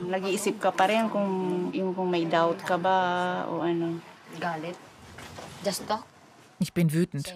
Ich muss mit ihm reden. Ich werde ihn begrüßen und dann hängt alles von ihm ab. Wenn ich ihn in der Schweiz sehen kann, werden wir vielleicht nur über das Kind reden. Wie wird es für dich sein, wenn du ihn siehst? Werden deine Gefühle für ihn zurückkommen? Ich glaube nicht. Wegen ihm bin ich so geworden. Wie? Warst du vorher anders? Sexy? Ja, er war mein erster Freund. Warst du damals sexy? Ja, ich habe ein Foto von damals. Ich zeige es dir. Moment. Ah. Ah. girl. Ja, ich war attraktiv. Tadan. So sah ich aus, als ich ihn kennengelernt habe. Ich war 19. Ich habe sogar als Model gearbeitet. Der Vater von Grace hat Freunde hier. Ich besuchte sie ab und zu mit dem Baby, um nach ihm zu fragen. Eines Tages erzählten sie mir, er habe geheiratet. Ich war verletzt, als ich das hörte. Es tat sehr weh. Hast du Dokumente oder Informationen über den Vater? Ich habe nur seine Adresse. Zeig sie mir. Die Telefonnummer steht auch drauf. Gut, behalte den Zettel. Das ist das Einzige, was ich von ihm habe. Ich hebe den Zettel für Grace auf. Es ist wichtig. Wenn sie einmal heiratet und ihn besuchen will, kann ich ihn ihr geben.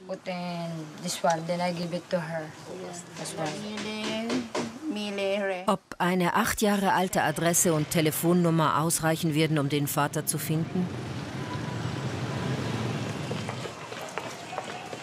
Die Sozialarbeiterin bringt die Informationen zum Leiter der Nichtregierungsorganisation Renew. Paulo Fuller setzt alles daran, Väter wie den von Grace zu finden.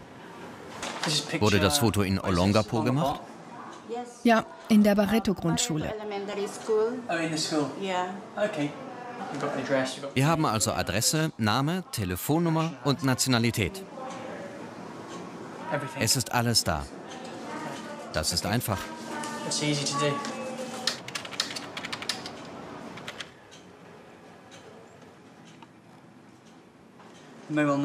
Die Handynummer ist die gleiche, die uns Mary Ann gegeben hat. Der Name stimmt, also muss das die Adresse sein. Hier ist es. Zoomen wir näher ran. Das muss die Straße sein. Höchstwahrscheinlich lebt er da.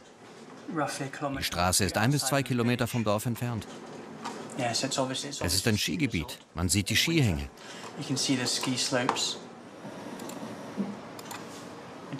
Im Internet ist der Mann ein Unbekannter. Es ist nicht viel über ihn zu finden. Nichts. Ich wäre nicht überrascht, wenn er wüsste, dass er, wie soll ich sagen, am anderen Ende der Welt etwas zu regeln hat. Die einen Ausländer leben hier, die anderen nicht. Sind sie hier in den Philippinen, ist es einfach. Wir bringen sie vor Gericht wegen Kindsvernachlässigung. Das Gesetz ist eindeutig. Väter müssen zahlen, egal ob die Mutter ihre Frau oder Geliebte ist. Das spielt vor Gericht keine Rolle. Also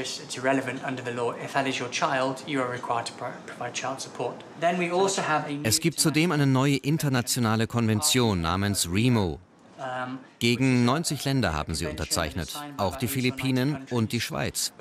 Die Konvention ermöglicht, Väter in diesen Ländern wegen Kindsvernachlässigung zu belangen. Für Mary Ann ist das das Beste, den Vater zu finden und ihn mit seiner Verantwortung zu konfrontieren. Paulo Fuller wird Mary Ann bei der Suche nach dem Vater von Grace unterstützen. Sein Engagement hat Gründe. Auch er ist ein Kind der Prostitution. Sein Vater war ein Kunde seiner Mutter. Diese setzte ihn aus. Mit fünf Jahren adoptierte ihn ein englisches Paar. Paulo Fuller ist Soziologe. Er unterrichtet an der Universität von Oxford und an einer Sozialarbeiterschule in Angeles City. Hallo, ich heiße Paulo.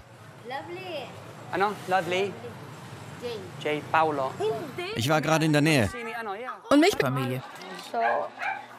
Ich wollte herausfinden, ob mein Kind hier ist, aber sie sagt, es ist nicht hier. Ich will nur meine Tochter wiederfinden.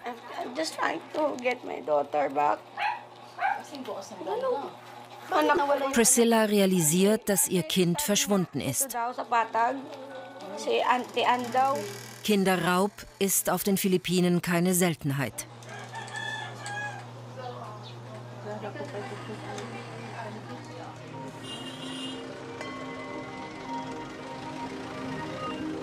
In der ultrakatholischen Gesellschaft werden Frauen wie Priscilla wie Aussätzige behandelt. Prostitution ist offiziell verboten. Doch der Staat sieht weg, da die Wirtschaft davon abhängig ist. 400.000 Frauen sind Prostituierte und werden dafür verachtet. Das Gleiche gilt für ihre Kinder.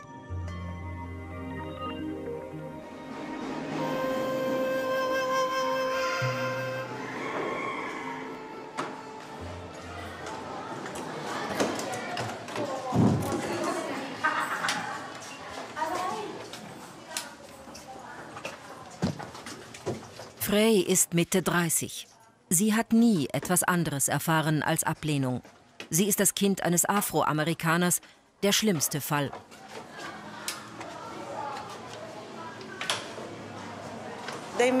Als sie sich kennenlernten, war meine Mutter 16 und arbeitete in einer Bar in Olongapo. Sie lebten zusammen. Bei meiner Geburt sagte mein Vater, das ist nicht meine Tochter. So begann mein verfuschtes Leben.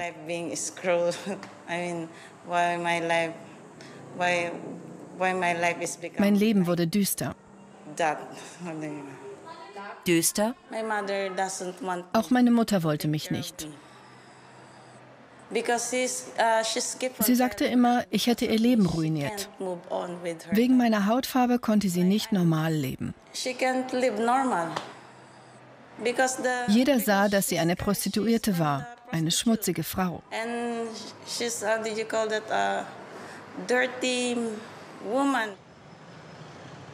Frey landete mit elf auf der Straße. Sie war ganz auf sich gestellt. Nach sechs Jahren fand sie dank eines irischen Pfarrers eine Unterkunft. Uh, das Schlimmste war die Regenzeit. Es war kalt und ich hatte keine Decke, kein Kissen.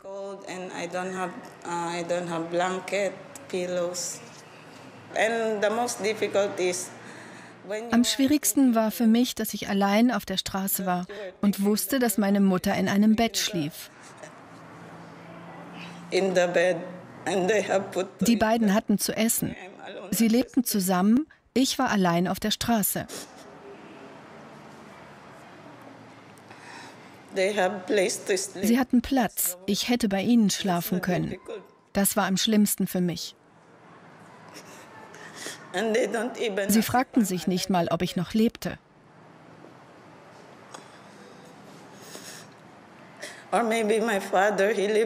Mein Vater hatte viel Geld und war vielleicht dabei, Bier zu trinken und Spaß zu haben. Und ich war auf der Straße. Dieser Gedanke war unerträglich.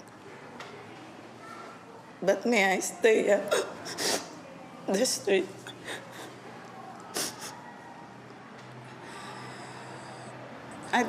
Ich finde, die Amerikaner und Europäer sollten es vermeiden, Kinder zu zeugen, wenn sie hierher kommen.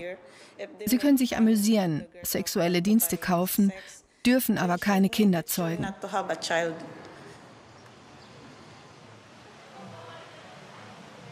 Paulo Fuller ist empört über die Ungerechtigkeit, die Prostituierte und ihre Kinder erfahren. Daher geht er bis zum Äußersten, um die Väter zu finden. Er ist einem Deutschen auf der Spur, der einen Sohn mit einer Bartänzerin hat. Mit Hilfe von zwei seiner Soziologiestudentinnen will Paulo Fuller ihn zur Rede stellen. Ich hatte einen intensiven SMS-Austausch mit ihm. Ich habe mich für eine Frau ausgegeben. Er meint, ich wolle ihn kennenlernen. Er hat den Köder geschluckt, er ist interessiert. Das schreibt er in seiner letzten SMS. Wir müssen ihn heute treffen. Kannst du dich als diese Frau ausgeben und hier ein Treffen mit ihm ausmachen? Wenn möglich heute Abend? So kann ich ihm die Gerichtsvorladung aushändigen.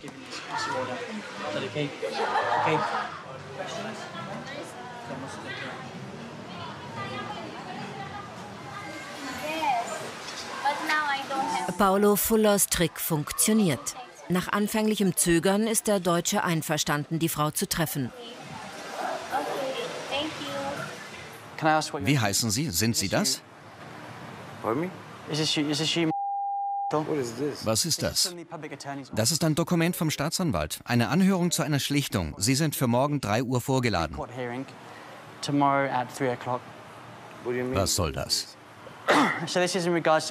Ich vertrete Frau Mai Sahil Juan. Es geht um das Regeln der Alimente. Morgen, 15 Uhr, in der Staatskanzlei. Hier ist die Adresse. Der Staatsanwalt ist mit Ihrem Fall betraut. Es wird um Ihren Beitrag zur Unterstützung Ihres Kindes gehen. Sie haben das Recht, einen Anwalt mitzubringen. Wer sind Sie?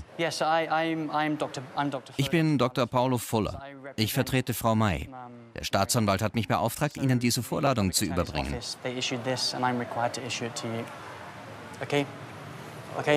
Um 15 Uhr. Ja, diese Kopie ist für Sie, aber ich brauche Ihre Unterschrift. Ich unterschreibe nichts. Dann behalte ich das. Ich unterschreibe nichts. Das ist Ihr Recht. Ich komme morgen, aber ich unterschreibe nichts. Dann kann ich Ihnen die Unterlagen nicht geben. Wenn Sie nicht kommen, wird der Richter einen Haftbefehl erlassen. Ich werde morgen da sein. Gut, danke.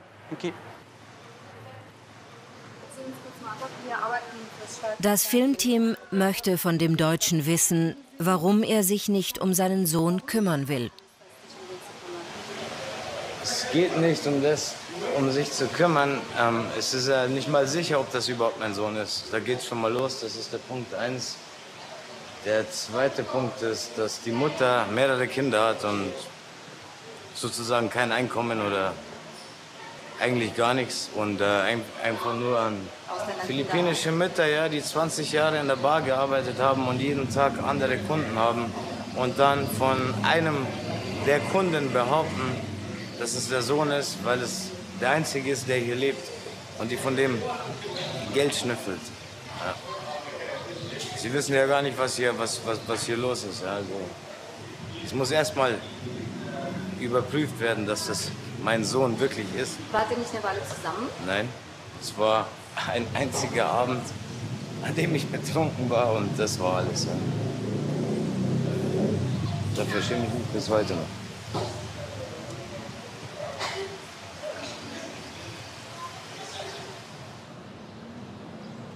Andern Tags erscheint Mai pünktlich zum Schlichtungstermin. Sie hat ihren Sohn Michael mitgebracht. Der Termin ist entscheidend. Unterhaltszahlungen würden alles ändern.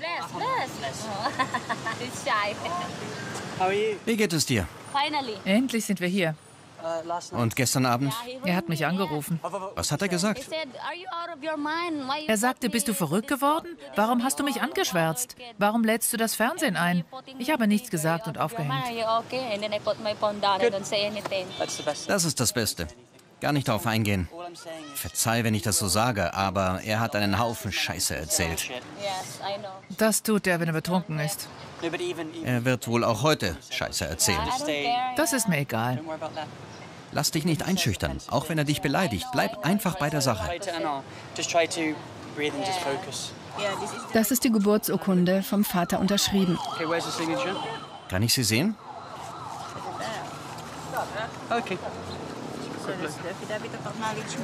Das muss ich mir anschauen. Wo ist die Unterschrift? Ah, hier. Mutter, Vater, alles da. Das ist ein sehr starker Beweis für den Staatsanwalt. Er ist der rechtliche Vater. Das heutige Ziel ist es, vor dem Staatsanwalt eine Einigung zwischen Mae und dem Vater ihres Kindes zu erreichen. Darin wird der Unterhalt geregelt. Die Summe ist abhängig von den Bedürfnissen von Michael und den Finanzen des Vaters. Denkst du, dass er kommt? Das ist die Frage. Wird er erscheinen? Ich habe ihn seit zwei Tagen nicht mehr gesehen.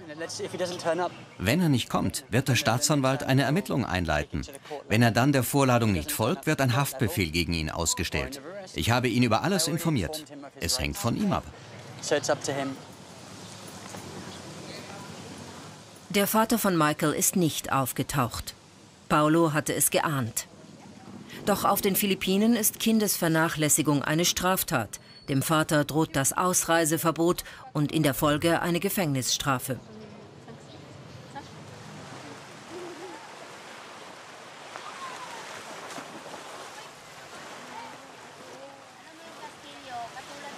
Zurück zu Grace. Gerichtsverfahren interessieren sie nicht. Sie will nur ihren Vater kennenlernen. Sie hat sich schon ein Bild von der Schweiz gemacht. Warte, Tante, ich mache etwas. Was denn? Ich vermische es. Das wird fantastisch. Es ist braun.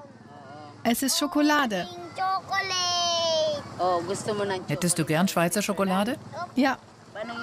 Wie stellst du dir die Schweiz vor? Da ist es super. Es ist kalt und es gibt Schnee.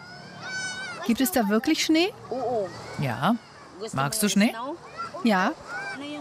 Was wirst du in der Schweiz tun? Ich fliege mit dem Flugzeug hin. Dort besuche ich meinen Vater.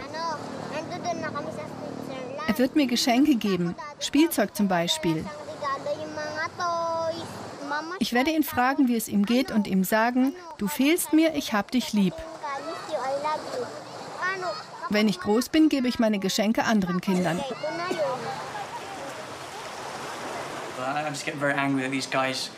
Diese Männer machen mich wütend, weil sie ihre eigenen Gefühle verdrängen. Eigentlich hätten viele gern Kontakt zu ihren Kindern, aber ihnen steht immer etwas im Wege. Es ist armselig, wie sie vor der Realität und ihrer Verantwortung fliehen.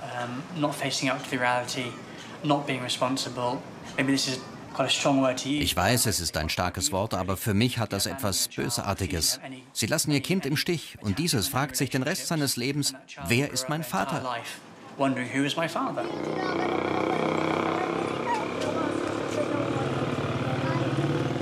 Für Paulo Fuller ist es unerlässlich, dass Grace ihren Vater kennenlernt.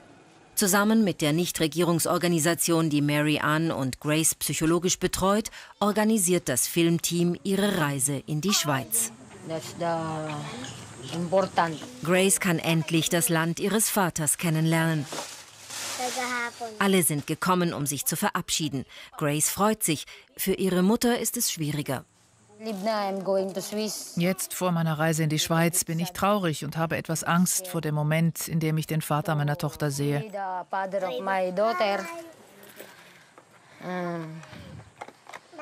Wenn ich ihn treffen kann, werde ich sehen, was passiert.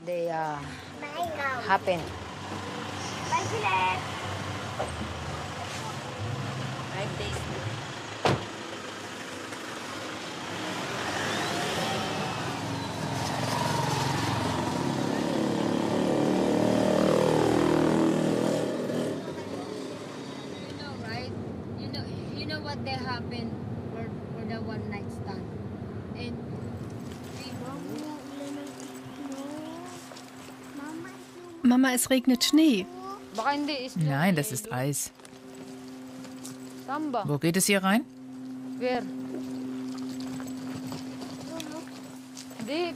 Wir müssen die Türe finden.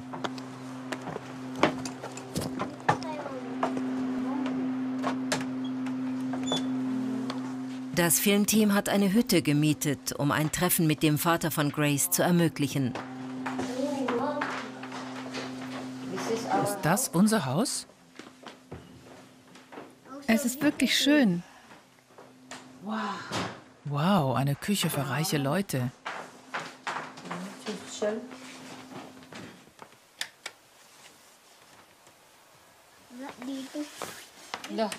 Nein, der Lichtschalter ist drinnen.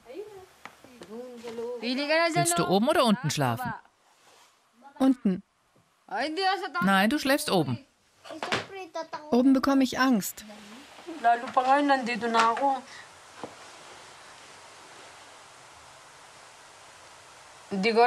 Jetzt, wo ich hier bin, weiß ich nicht, wie ich auf ihn zugehen soll. Ich fühle mich gestresst. Es ist sein Territorium. Wie soll ich ihm erklären, was ich ihm seit sieben Jahren sagen will?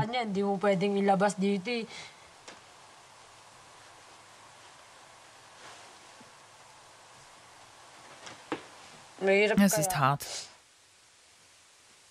Am Abend ruft Mary Ann den Vater von Grace an.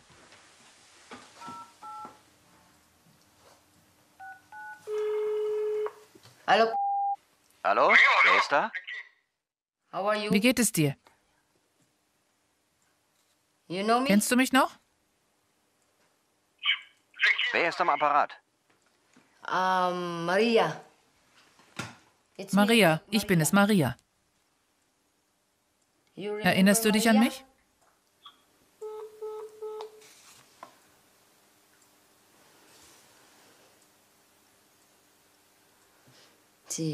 Ich wusste, dass er auflegt. Er hat gefragt, wer am Apparat ist. Ich habe zweimal meinen Namen gesagt, dann hat er aufgelegt. Ich weiß nicht warum. Wissen Sie wirklich nicht, warum er nicht mit Ihnen reden will?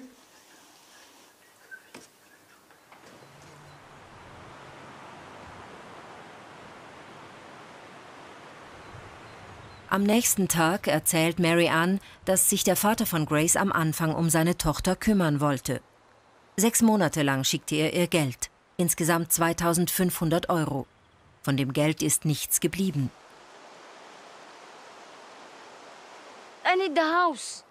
Ich brauchte ein Zuhause für die Kleine. Wir konnten doch nicht auf der Straße leben.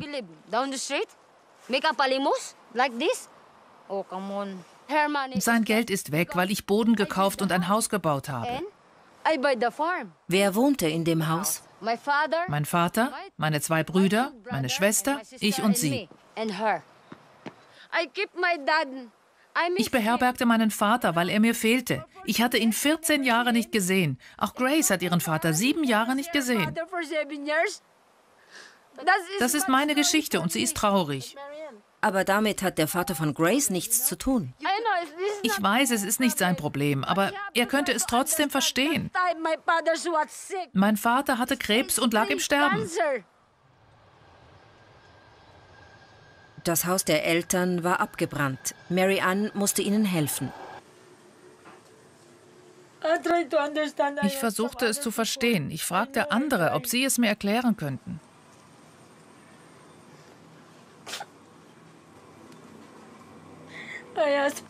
Ich fragte sie, warum kommt er nicht zurück?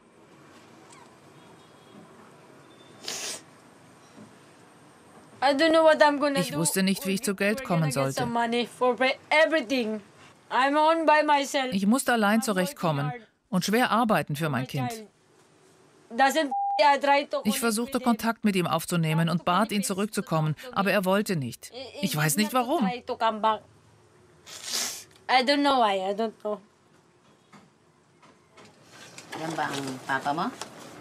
Von ihrem Vater hat Grace nur ein Foto. Zeig es. Das ist mein Papa.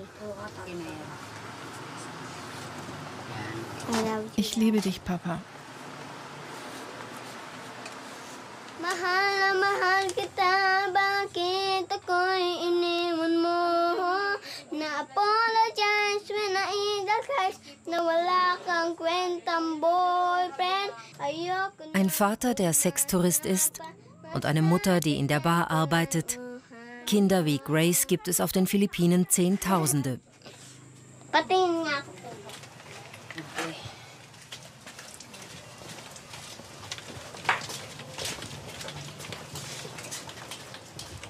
Mary Ann will nicht mehr als Prostituierte arbeiten. Sie wäscht die Kleider der Nachbarn und hofft, so genug Geld verdienen zu können. Sie will ihre Tochter vor dem gleichen Schicksal bewahren.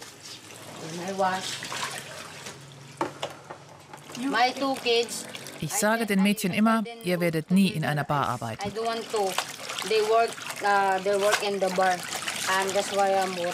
Aber ich habe Angst. Ich muss sie schützen. Ich lasse nicht zu, dass ihnen, wie mir, ein Mann das Herz bricht. Du lernst jemanden kennen, ist nett zu dir und dann geht er einfach. Sie gehen alle. Deshalb will ich, dass die Mädchen zur Schule gehen.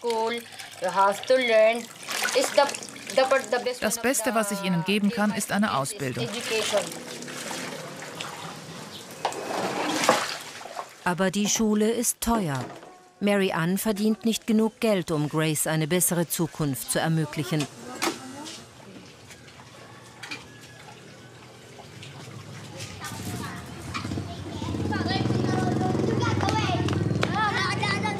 Andern Tags besuchen zwei Sozialarbeiterinnen Mary Ann.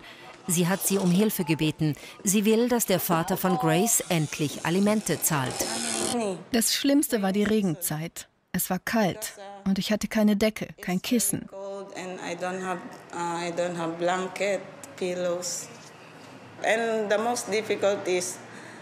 Am schwierigsten war für mich, dass ich allein auf der Straße war und wusste, dass meine Mutter in einem Bett schlief. Die beiden hatten zu essen. Sie lebten zusammen, ich war allein auf der Straße. Sie hatten Platz. Ich hätte bei ihnen schlafen können. Das war am schlimmsten für mich. Sie fragten sich nicht mal, ob ich noch lebte.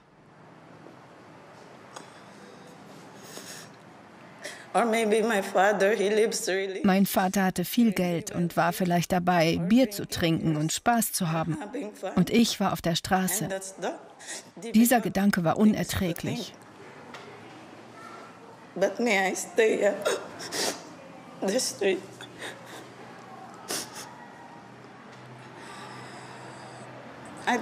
Ich finde, die Amerikaner und Europäer sollten es vermeiden, Kinder zu zeugen, wenn sie hierher kommen.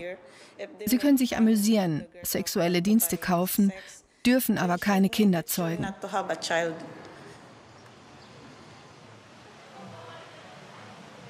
Paulo Fuller ist empört über die Ungerechtigkeit, die Prostituierte und ihre Kinder erfahren.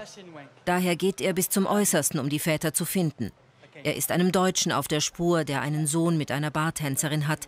Mit Hilfe von zwei seiner Soziologiestudentinnen will Paulo Fuller ihn zur Rede stellen. Ich hatte einen intensiven SMS-Austausch mit ihm. Ich habe mich für eine Frau ausgegeben. Er meint, ich wolle ihn kennenlernen. Er hat den Köder geschluckt, er ist interessiert. Das schreibt er in seiner letzten SMS. Wir müssen ihn heute treffen. Kannst du dich als diese Frau ausgeben und hier ein Treffen mit ihm ausmachen? Wenn möglich heute Abend? So kann ich ihm die Gerichtsvorladung aushändigen.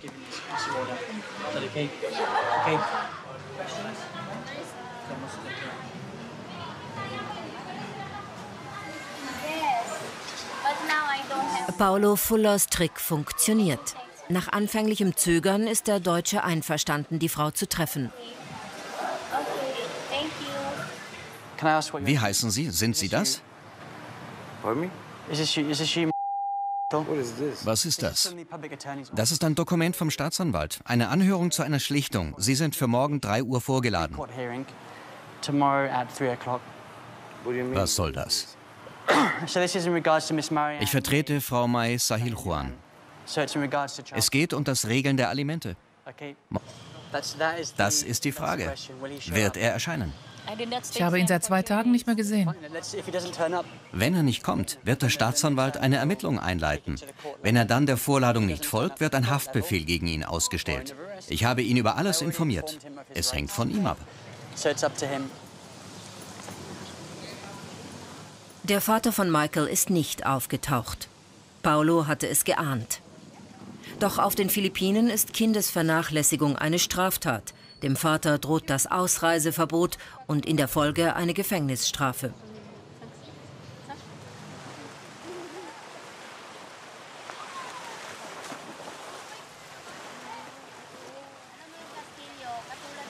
Zurück zu Grace. Gerichtsverfahren interessieren sie nicht. Sie will nur ihren Vater kennenlernen. Sie hat sich schon ein Bild von der Schweiz gemacht. Warte, Tante, ich mache etwas. Was denn? Ich vermische es. Das wird fantastisch. Es ist braun. Es ist Schokolade. Hättest du gern Schweizer Schokolade? Ja. Wie stellst du dir die Schweiz vor? Da ist es super. Es ist kalt und es gibt Schnee. Gibt es da wirklich Schnee? Ja. Magst du Schnee? Ja. Was wirst du in der Schweiz tun? Ich fliege mit dem Flugzeug hin. Dort besuche ich meinen Vater. Er wird mir Geschenke geben, Spielzeug zum Beispiel. Ich werde ihn fragen, wie es ihm geht und ihm sagen, du fehlst mir, ich hab dich lieb. Wenn ich groß bin, gebe ich meine Geschenke anderen Kindern.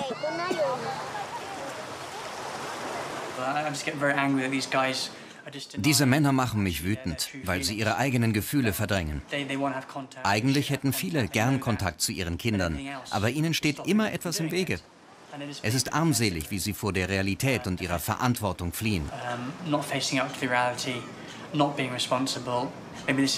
Ich weiß, es ist ein starkes Wort, aber für mich hat das etwas Bösartiges.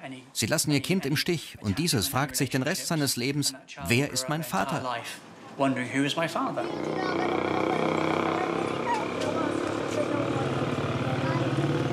Für Paulo Fuller ist es unerlässlich, dass Grace ihren Vater kennenlernt.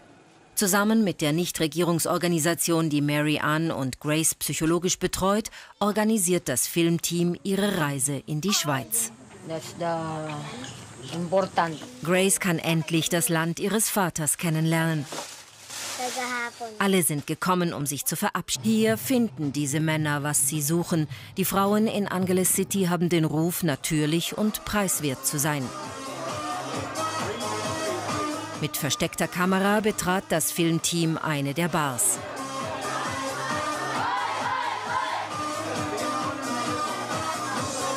Die Frauen sind jung und wirken unverdorben, weit entfernt vom Klischee der Prostituierten.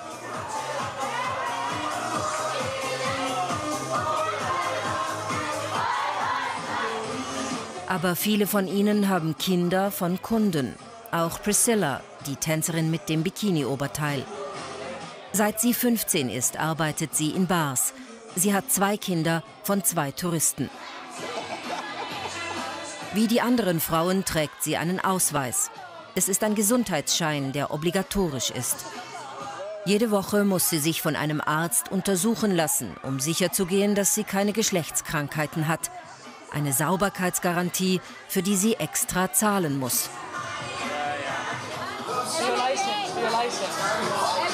Wie viel zahlen Sie pro Woche für das Zertifikat? 100 Pesos. Wie viel hat die Erstausstellung gekostet? 1500 Pesos. Das zahlt die Barbetreiberin. Ich erstatte ihr das Geld zurück.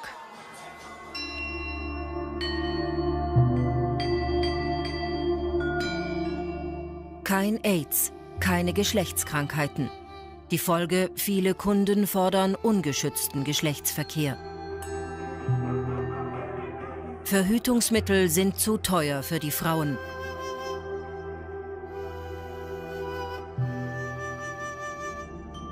Priscilla kann nur beten, dass sie nicht wieder schwanger wird.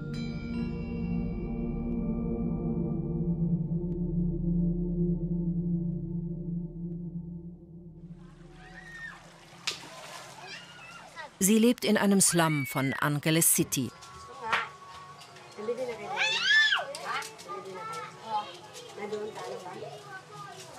Komm her.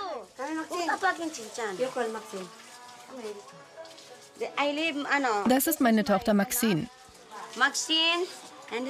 Das ist meine Mutter. Wir leben hier alle zusammen. Wie viel Miete bezahlen Sie? Ay, uh, 1,200 Pesos. Nagbabayad ako dito ng 1,200 peso. No, no more light. Uh, inclu uh, Dazu kommen Strom und Wasser. Including the paying electric and water. Als Tänzerin hat ihr die Ausweise abgenommen. Hast du Mami Weng gesehen? Hast du Mami Weng gesehen? Noch nicht. Kannst du sie anrufen? Ich habe ihre Nummer nicht. Dank der Anwesenheit des Filmteams lässt Priscillas Chefin sie endlich in die Bar. In einer Tasche sind die Ausweise aller Tänzerinnen. Priscilla findet ihren nicht, aber eine Geburtsurkunde. Damit wird sie reisen können.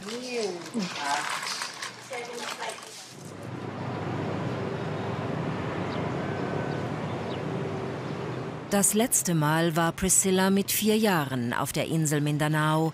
Hier ist sie eine Fremde.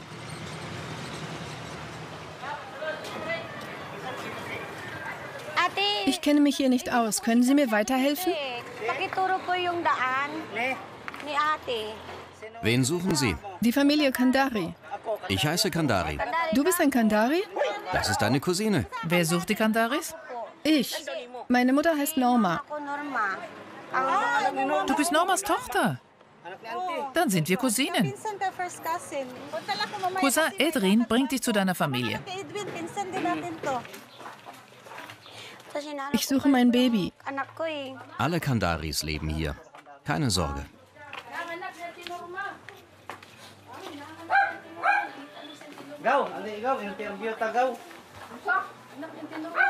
Das ist die Tochter von Tante Norma. Tante Norma? Was ist denn los? Unterhalten wir uns drinnen. Ich suche mein Kind. Eine Frau hat sich als Anna Kandari ausgegeben. Ich vertraute ihr mein Baby an, das einen englischen Vater hat. Sie sagte, dass sie hier wohnt. Ich habe ein Foto, hab's aber nicht dabei. Kennst du diese Tante Anna?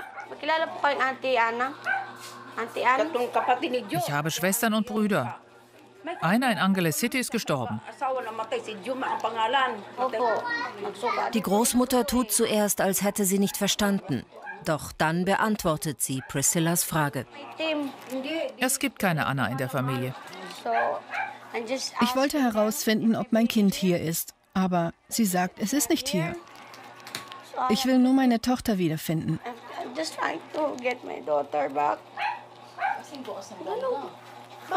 Priscilla realisiert, dass ihr Kind verschwunden ist.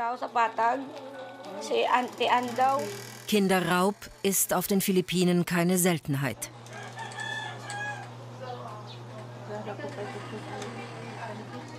Zu kümmern, ähm, es ist ja nicht mal sicher, ob das überhaupt mein Sohn ist. Da geht es schon mal los, das ist der Punkt 1. Der zweite Punkt ist, dass die Mutter mehrere Kinder hat und sozusagen kein Einkommen oder eigentlich gar nichts und äh, einfach nur an philippinische Mütter, ja, die 20 Jahre in der Bar gearbeitet haben und jeden Tag andere Kunden haben und dann von einem der Kunden behaupten, dass es der Sohn ist, weil es der einzige ist, der hier lebt und die von dem Geld schnüffelt. Ja. Sie wissen ja gar nicht, was hier, was, was, was hier los ist. Ja. Also, es muss erstmal überprüft werden, dass das mein Sohn wirklich ist. Wart ihr nicht eine Weile zusammen? Nein, es war ein einziger Abend, an dem ich betrunken war und das war alles. Ja. Dafür schäme ich mich bis heute noch.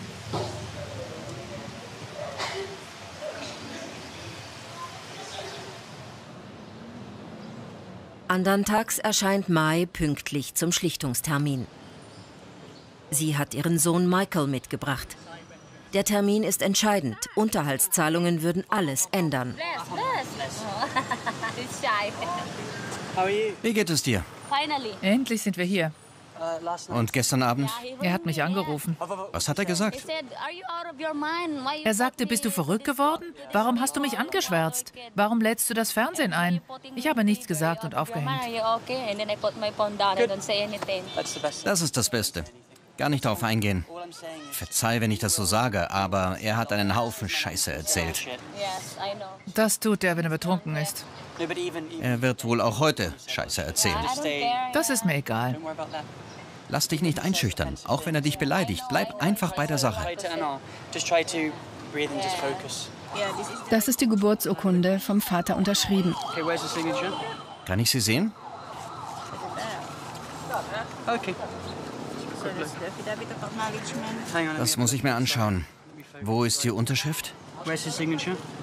Ah, hier. Mutter, Vater, alles da. Das ist ein sehr starker Beweis für den Staatsanwalt. Er ist der rechtliche Vater. Das heutige Ziel ist es, vor dem Staatsanwalt eine Einigung zwischen Mae und dem Vater ihres Kindes zu erreichen. Darin wird der Unterhalt geregelt. Die Summe ist abhängig von den Bedürfnissen von Michael und den Finanzen des Vaters. Denkst du, dass er kommt? Das ist die Frage. Wird er erscheinen? Ich habe ihn seit zwei Tagen nicht mehr gesehen. Wenn er nicht kommt, wird der Staatsanwalt eine Ermittlung einleiten. Wenn er dann der Vorladung nicht folgt, wird ein Haftbefehl gegen ihn ausgestellt. Dann ist es einfach. Wir bringen sie vor Gericht wegen Kindsvernachlässigung. Das Gesetz ist eindeutig. Väter müssen zahlen, egal ob die Mutter ihre Frau oder Geliebte ist. Das spielt vor Gericht keine Rolle. Also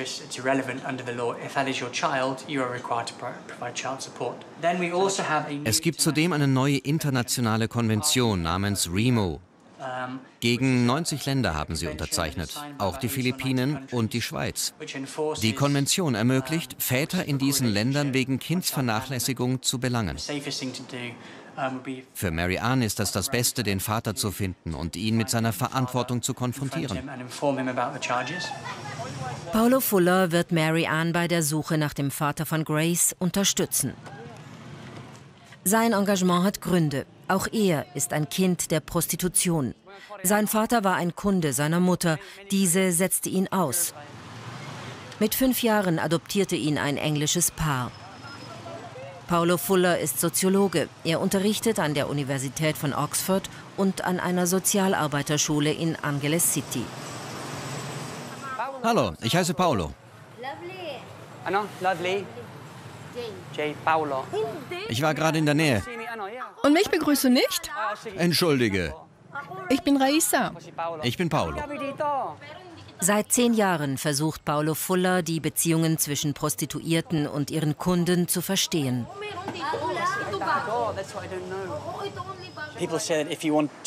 Die Männer, die nur Sex wollen, gehen nach Thailand. Dieses Land ist perfekt für One-Night-Stands.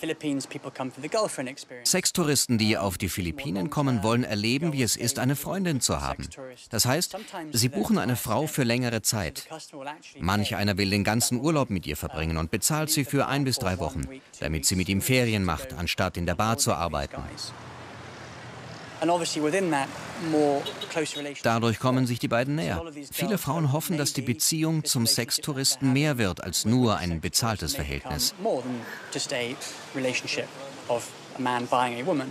Sie hoffen, dass er sie heiratet, sie aus der Armut befreit und von den Philippinen fortbringt.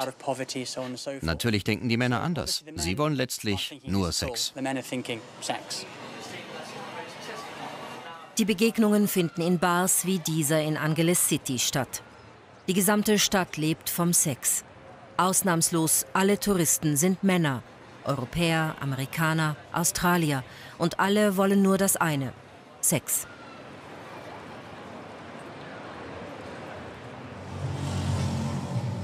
Hier finden diese Männer, was sie suchen. Die Frauen in Angeles City haben den Ruf, natürlich und preiswert zu sein. Mit versteckter Kamera reut sich. Für ihre Mutter ist es schwieriger. Jetzt vor meiner Reise in die Schweiz bin ich traurig und habe etwas Angst vor dem Moment, in dem ich den Vater meiner Tochter sehe.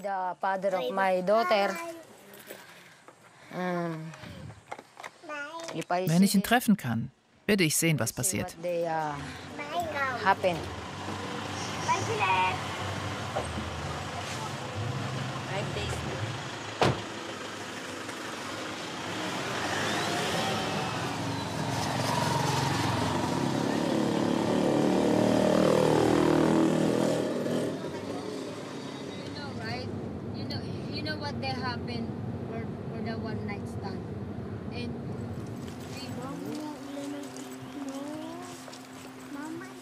Mama, es regnet Schnee.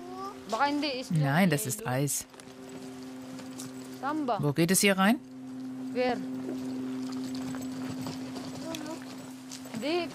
Wir müssen die Türe finden.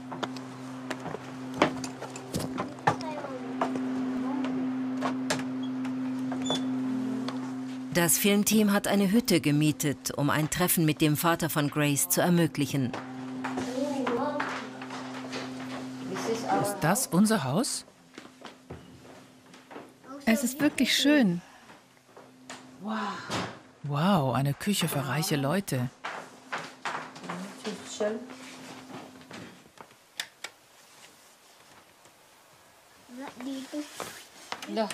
Nein, der Lichtschalter ist drinnen.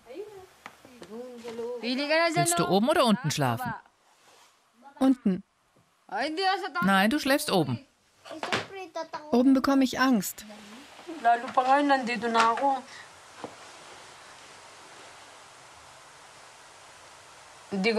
Jetzt, wo ich hier bin, weiß ich nicht, wie ich auf ihn zugehen soll. Ich fühle mich gestresst. Es ist sein Territorium. Wie soll ich ihm erklären, was ich ihm seit sieben Jahren sagen will?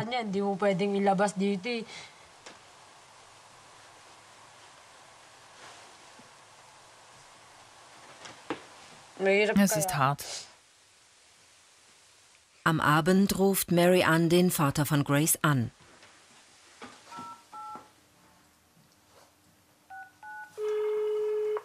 Hallo. Hallo? Wer ist da? Wie geht es dir? Kennst du mich noch? Wer ist am Apparat? Um, Maria. Maria, ich bin es, Maria. Erinnerst du dich an mich?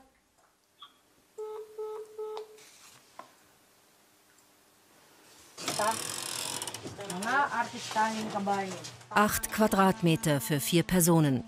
In diesem kleinen Raum wird der Alltag zur Herausforderung.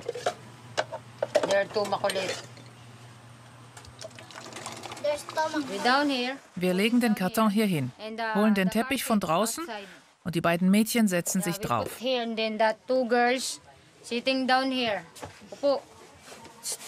Komm her. So machen sie ihre Hausaufgaben. Und wie schlaft ihr? Zu viert in diesem Bett. In diese Richtung? Mit den Füßen draußen. Genau, die Füße schauen raus. Sie schläft neben mir, das andere Mädchen neben Cheryl. Ihre Kinder ziehen sie gemeinsam groß. Die beiden Ex-Prostituierten sind ein Paar. Sie haben genug von Männern. Aber Mary Ann kann den Vater ihrer Tochter, den damals 40 Jahre alten Schweizer, nicht vergessen. Ich lernte ihn kennen, als ich 18 oder 19 war. Ich arbeitete als Kellnerin in einer Bar. Am Anfang hatten wir keine ernsthafte Beziehung. Ich wusste nicht, ob ich ihm vertrauen konnte.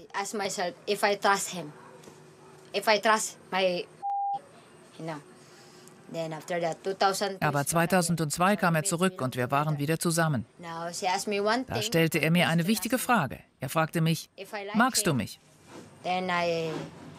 Ich sagte ihm, ich müsse nachdenken. 2004 brachte er mir Schokolade und Blumen mit. Dann flog er wieder in die Schweiz zurück.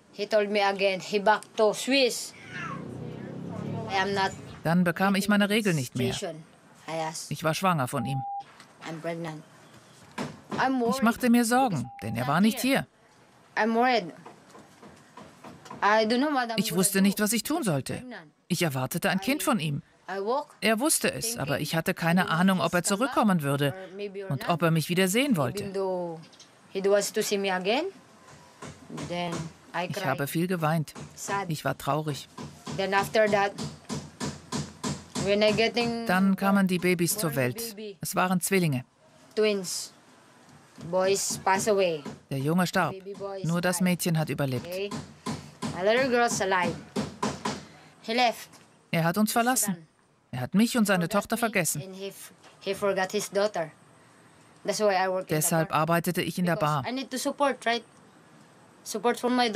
Wegen meiner Tochter. Wen suchen Sie? Die Familie Kandari. Ich heiße Kandari. Du bist ein Kandari? Das ist deine Cousine. Wer sucht die Kandaris? Ich. Meine Mutter heißt Norma. Du bist Normas Tochter. Dann sind wir Cousinen. Cousin Edrin bringt dich zu deiner Familie. Ich suche mein Baby. Alle Kandaris leben hier. Keine Sorge.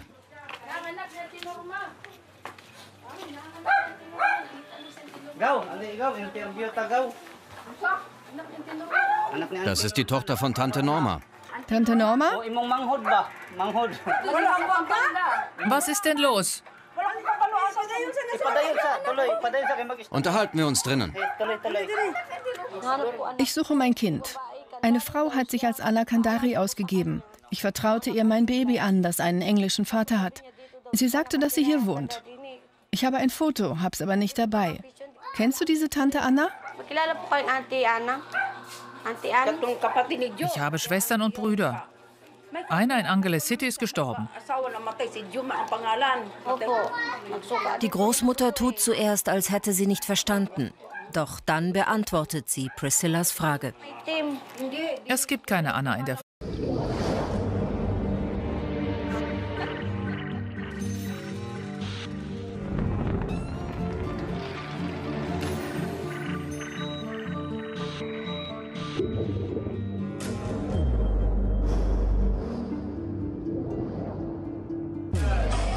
Billig, schnell, Frauen ohne große Ansprüche, Sextourismus in Asien. Auch auf den Philippinen prostituieren sich junge Frauen, um überleben zu können. Viele werden schwanger, da sie sich Verhütungsmittel nicht leisten können. Die Frauen bleiben allein zurück mit ihrem Nachwuchs und ihre Kinder werden gehänselt, weil ihre Haut zu weiß ist. Doch immer mehr Mütter versuchen, die Väter ihrer Kinder zu finden, um sie zur Kasse zu bitten. Manchmal führt ihre Suche sie bis in die Schweiz.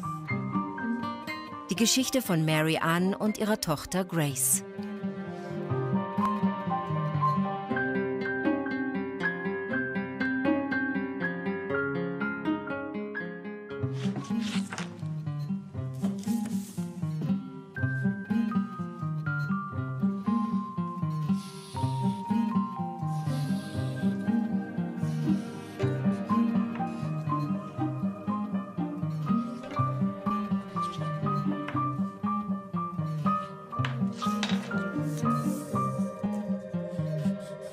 Kalt und ich hatte keine Decke, kein Kissen.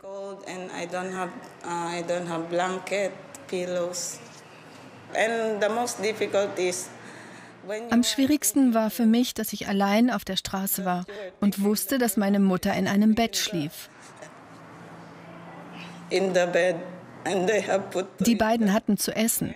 Sie lebten zusammen, ich war allein auf der Straße. Sie hatten Platz. Ich hätte bei ihnen schlafen können. Das war am schlimmsten für mich. Sie fragten sich nicht mal, ob ich noch lebte.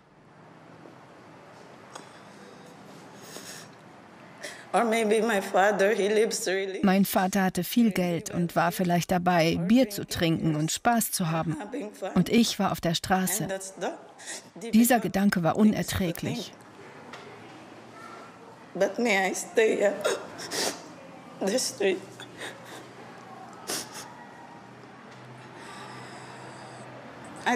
Ich finde, die Amerikaner und Europäer sollten es vermeiden, Kinder zu zeugen, wenn sie hierher kommen. Sie können sich amüsieren, sexuelle Dienste kaufen, dürfen aber keine Kinder zeugen.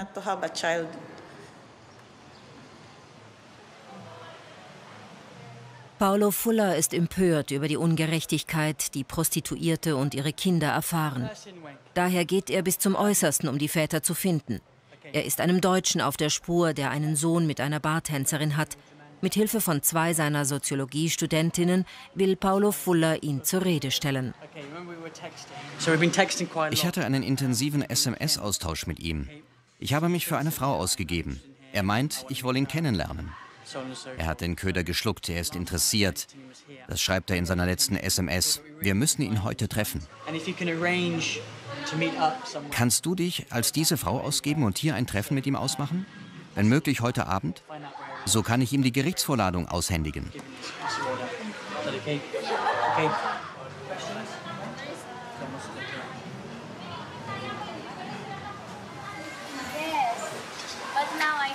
Paulo Fullers Trick funktioniert.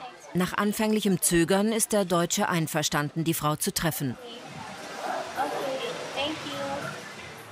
Wie heißen Sie? Sind Sie das? Was ist das? Das ist ein Dokument vom Staatsanwalt. Eine Anhörung zu einer Schlichtung. Sie sind für morgen 3 Uhr vorgeladen. Was soll das? Ich vertrete Frau Mai Sahil Juan. Es geht um das Regeln der Alimente.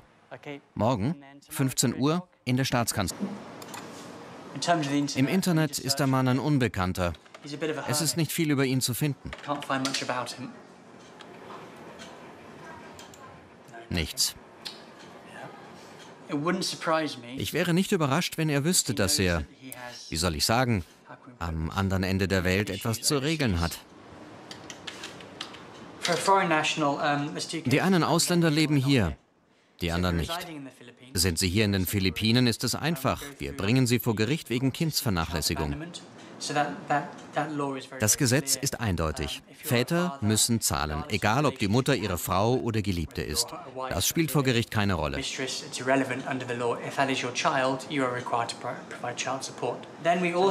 Es gibt zudem eine neue internationale Konvention namens REMO, gegen 90 Länder haben sie unterzeichnet, auch die Philippinen und die Schweiz. Die Konvention ermöglicht, Väter in diesen Ländern wegen Kindsvernachlässigung zu belangen. Für Mary Ann ist das das Beste, den Vater zu finden und ihn mit seiner Verantwortung zu konfrontieren. Paulo Fuller wird Mary Ann bei der Suche nach dem Vater von Grace unterstützen. Sein Engagement hat Gründe. Auch er ist ein Kind der Prostitution. Sein Vater war ein Kunde seiner Mutter. Diese setzte ihn aus. Mit fünf Jahren adoptierte ihn ein englisches Paar. Paulo Fuller ist Soziologe. Er unterrichtet an der Universität von Oxford und an einer Sozialarbeiterschule in Angeles City. Hallo, ich heiße Paulo. Lovely. Ich war gerade in der Nähe. Und mich Familie. Ich wollte herausfinden, ob mein Kind hier ist. Aber sie sagt, es ist nicht hier. Ich will nur meine Tochter wiederfinden.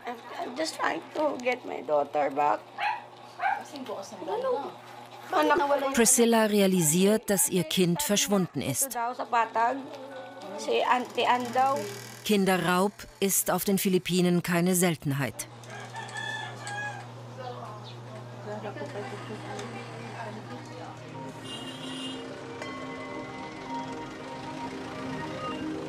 In der ultrakatholischen Gesellschaft werden Frauen wie Priscilla wie Aussätzige behandelt. Prostitution ist offiziell verboten. Doch der Staat sieht weg, da die Wirtschaft davon abhängig ist. 400.000 Frauen sind Prostituierte und werden dafür verachtet. Das Gleiche gilt für ihre Kinder.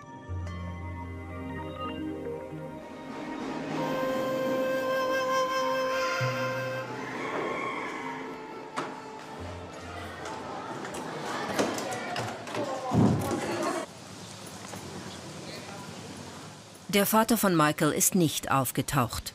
Paulo hatte es geahnt.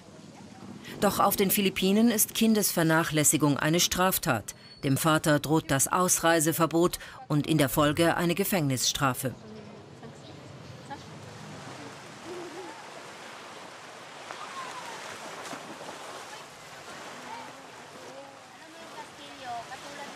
Zurück zu Grace. Gerichtsverfahren interessieren sie nicht. Sie will nur ihren Vater kennenlernen. Sie hat sich schon ein Bild von der Schweiz gemacht. Warte, Tante, ich mache etwas. Was denn? Ich vermische es. Das wird fantastisch. Es ist braun. Es ist Schokolade. Hättest du gern Schweizer Schokolade? Ja. Wie stellst du dir die Schweiz vor? Da ist es super. Es ist kalt und es gibt Schnee. Gibt es da wirklich Schnee? Ja. Magst du Schnee? Ja. Was wirst du in der Schweiz tun? Ich fliege mit dem Flugzeug hin. Dort besuche ich meinen Vater. Er wird mir Geschenke geben, Spielzeug zum Beispiel. Ich werde ihn fragen, wie es ihm geht und ihm sagen, du fehlst mir, ich hab dich lieb. Wenn ich groß bin, gebe ich meine Geschenke anderen Kindern.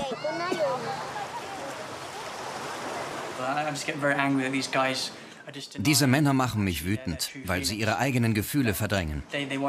Eigentlich hätten viele gern Kontakt zu ihren Kindern, aber ihnen steht immer etwas im Wege.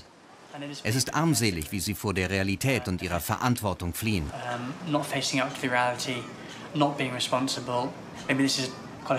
Ich weiß, es ist ein starkes Wort, aber für mich hat das etwas Bösartiges. Sie lassen ihr Kind im Stich und dieses fragt sich den Rest seines Lebens, wer ist mein Vater?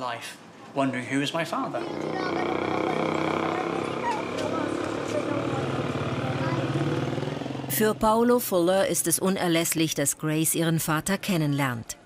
Zusammen mit der Nichtregierungsorganisation, die Mary Ann und Grace psychologisch betreut, organisiert das Filmteam ihre Reise in die Schweiz.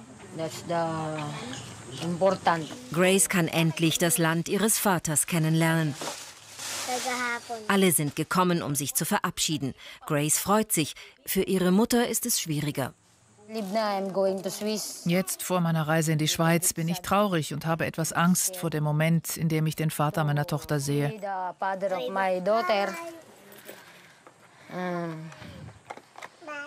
Wenn ich ihn treffen kann. Wenn ich ihn treffen kann, werde ich sehen, was passiert.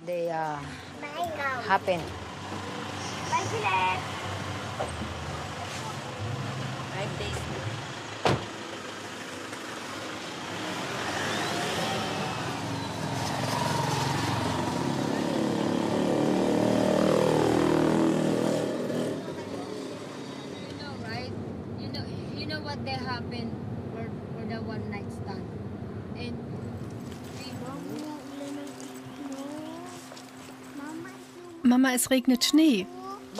Nein, das ist Eis. Wo geht es hier rein?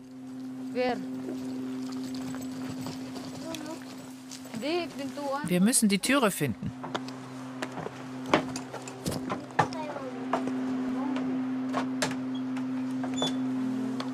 Das Filmteam hat eine Hütte gemietet, um ein Treffen mit dem Vater von Grace zu ermöglichen. Das unser Haus? Es ist wirklich schön. Wow, eine Küche für reiche Leute.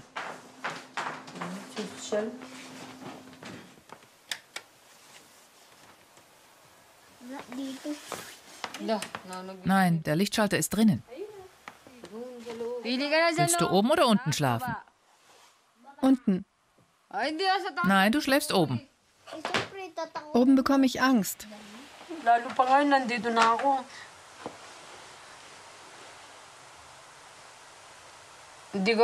Jetzt, wo ich hier bin, weiß ich nicht, wie ich auf ihn zugehen soll.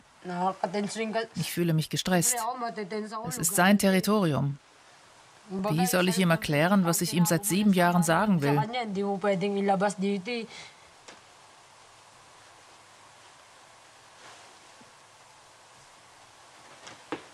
Es ist hart.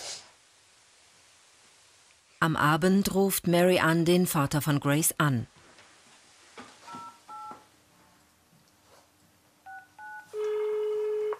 Hallo. Hallo, wer ist da? Wie geht es dir? Kennst du mich noch? Wer ist am Apparat? Um, Maria. Maria, ich bin es, Maria. Erinnerst du dich an mich?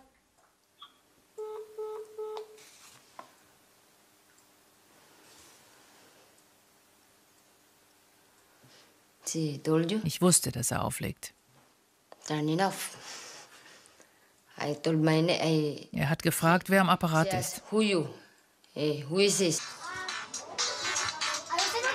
Als Tänzerin verdient Priscilla umgerechnet 35 Euro im Monat. Damit kann sie ihre Familie nicht ernähren.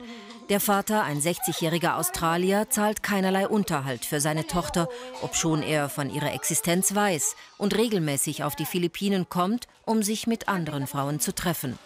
Priscilla ist zu einem Nebenerwerb gezwungen. Ich sammle Sachen aus Plastik, zum Beispiel Flaschen.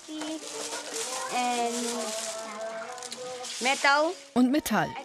Was ich halt auf der Straße oder bei den Nachbarn finde. Dann verkaufe ich es auf der Deponie. Wie viel verdienen Sie für einen Sack? Manchmal 75 Pesos. Für das hier bekomme ich rund 40 Pesos. Das ist nicht viel.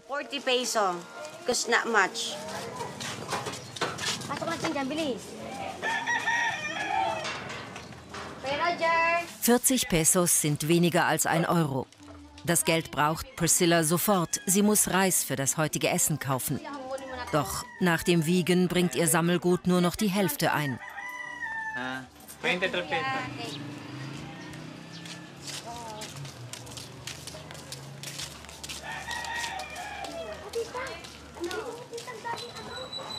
In ihrer Notlage vertraute Priscilla ihr zweites Kind kurz nach der Geburt einer angeblichen Tante an. Das war vor einem Jahr. Seither hat sie nichts von ihm gehört. Priscilla macht sich große Sorgen. Sie will auf die Insel Mindanao fahren, wo ihre angebliche Tante lebt. Um reisen zu können, braucht sie ihre Identitätskarte.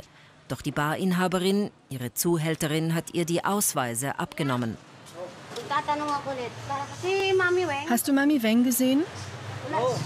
Hast du Mami Weng gesehen? Noch nicht.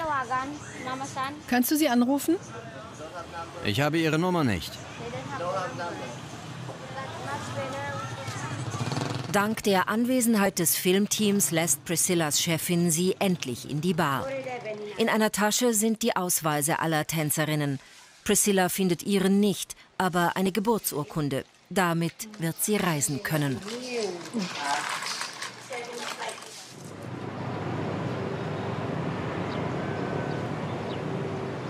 Das letzte Mal war Priscilla mit vier Jahren auf der Insel Mindanao. Hier ist sie eine Fremde.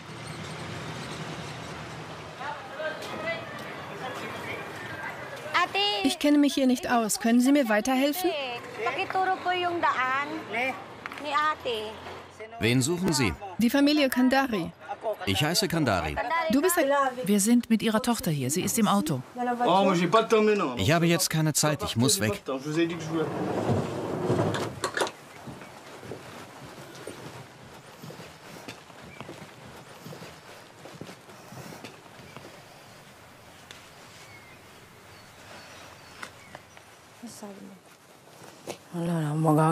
Was soll ich tun?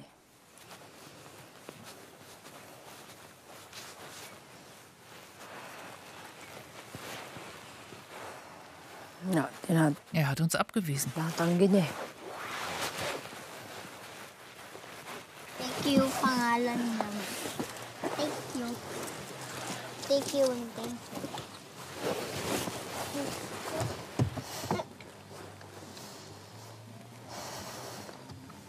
Er will nicht reden.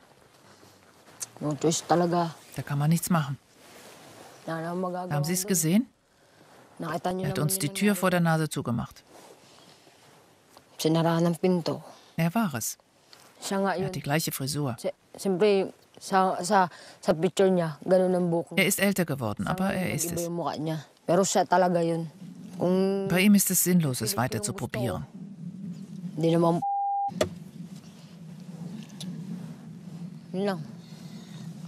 Ich kann das nur Gott überlassen. Der Vater von Grace verlässt das Haus. Das Filmteam stellt ihn zur Rede. Ist es so schwierig? Wenn ich nicht Ihr Vater bin, wird das heikel. Vielleicht gewinnt sie mich lieb. Und dann? Ich kenne Ihre Mutter sehr gut. Auf den Philippinen haben wir zusammen gelebt, in meinem Haus. Es war eine Katastrophe. Am Morgen kamen alle von ihrer Familie zum Essen. Als sie mir sagte, sie sei schwanger, hatte ich es schon akzeptiert. Ich sagte ihr, ich helfe dir ein bisschen, aber du musst sparen. Ich habe eine Freundin in Olongapo. Ich habe mit ihr telefoniert. Ab und zu treffe ich sie auch hier. Sie sagte mir, es bringt nichts mehr zu schicken. Sie verbraucht eh alles. Man kennt diese Leute. Sie bekommen nichts auf die Reihe.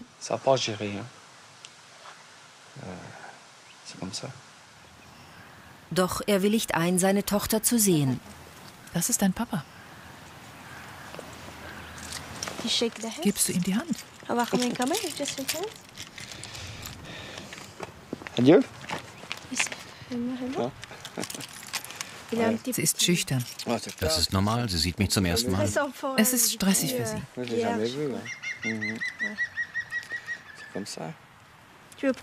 Du kannst ihm die Hand geben und halt. Warum zieht eine so ein Gesicht? Sie ist traurig. Die anderen wollen nicht mit ihr spielen. Das macht sie wütend.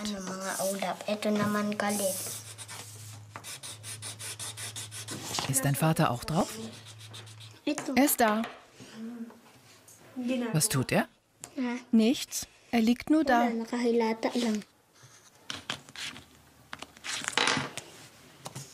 Und das bist du? Ja. Und wenn er dich nicht sehen will? Er tut, was er will. Vielleicht macht er uns die Tür gar nicht auf. Wenn doch, dann können wir endlich mit ihm reden. Ich habe nur vor etwas Angst, dass er noch mal gemein ist zu Mama. Er ist weggegangen. Er hat uns allein gelassen.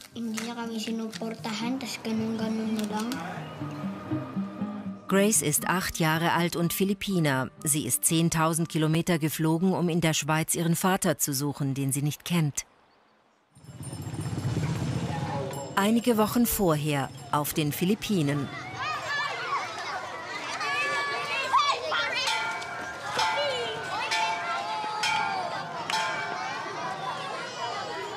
Die Hände nach vorn. In ihrer Schule in Olongapo ist Grace eine Außenseiterin. Und das nur, weil ihre Haut zu weiß ist. Wenn wir die Nationalhymne singen, müsst ihr rein und zusammen singen.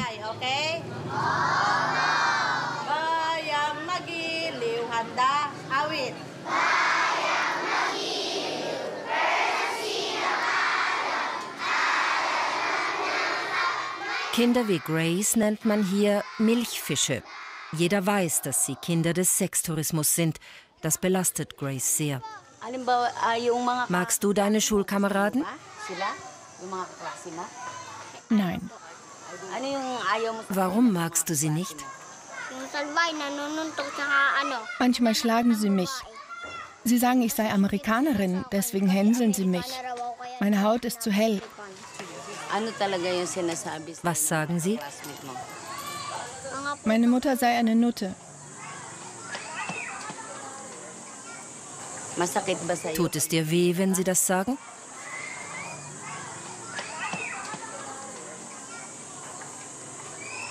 Ja.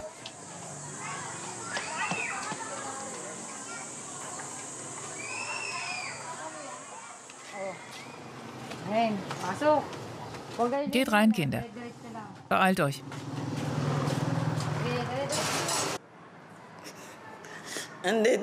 Sie fragten sich nicht mal, ob ich noch lebte.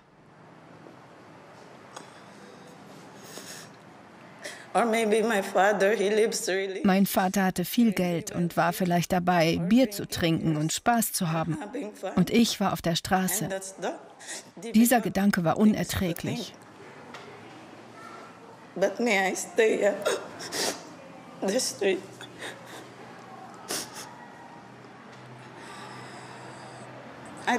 Ich finde, die Amerikaner und Europäer sollten es vermeiden, Kinder zu zeugen, wenn sie hierher kommen. Sie können sich amüsieren, sexuelle Dienste kaufen, dürfen aber keine Kinder zeugen.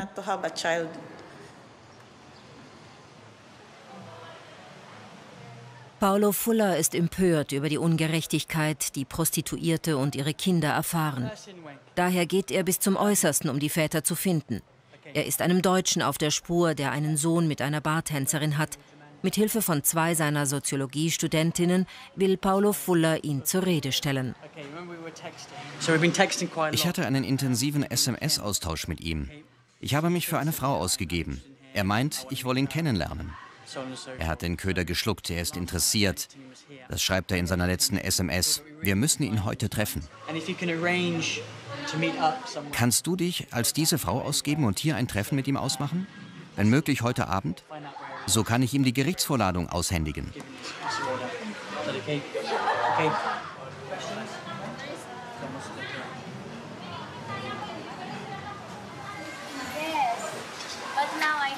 Paulo Fullers Trick funktioniert.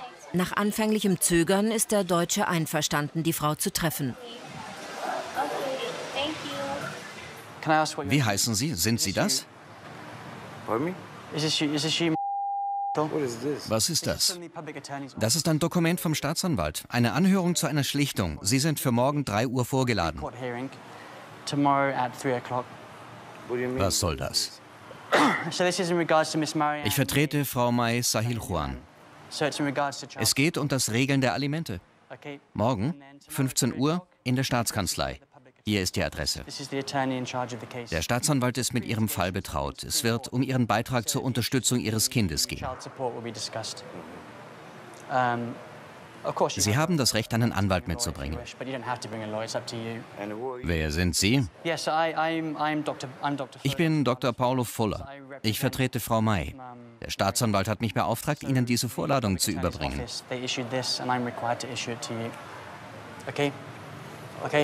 Um 15 Uhr. Ja, diese Kopie ist für Sie, aber ich brauche Ihre Unterschrift. Ich unterschreibe nichts. Willst du oben oder unten schlafen?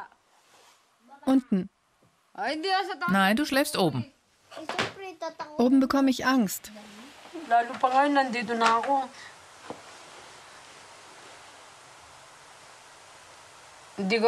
Jetzt, wo ich hier bin, weiß ich nicht, wie ich auf ihn zugehen soll. Ich fühle mich gestresst. Es ist sein Territorium. Wie soll ich ihm erklären, was ich ihm seit sieben Jahren sagen will?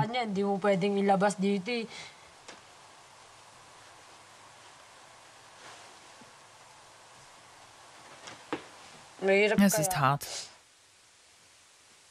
Am Abend ruft Mary Ann den Vater von Grace an.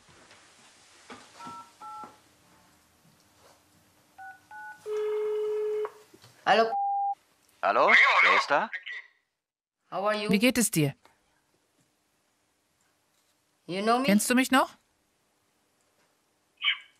Wer ist am Apparat? Um, Maria. Maria, ich bin es, Maria. Erinnerst du dich an mich?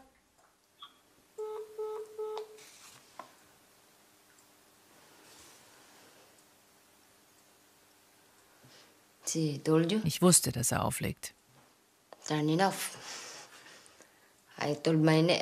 Er hat gefragt, wer am Apparat ist. Ich habe zweimal meinen Namen gesagt, dann hat er aufgelegt.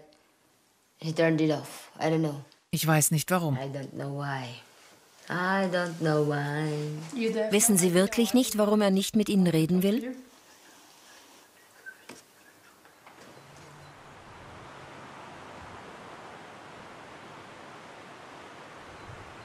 Am nächsten Tag erzählt Mary Ann, dass sich der Vater von Grace am Anfang um seine Tochter kümmern wollte. Sechs Monate lang schickte er ihr Geld, insgesamt 2500 Euro. Von dem Geld ist nichts geblieben.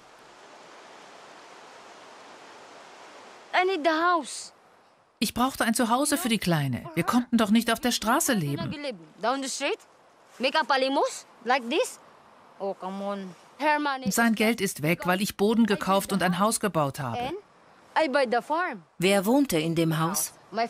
Mein Vater, meine zwei Brüder, meine Schwester, ich und sie.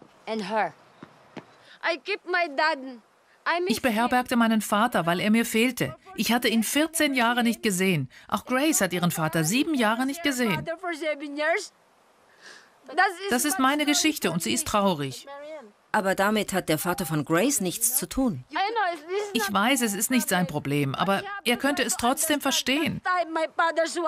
Mein Vater hatte Krebs und lag im Sterben. Name, Telefonnummer und Nationalität. Es ist alles da. Das ist einfach.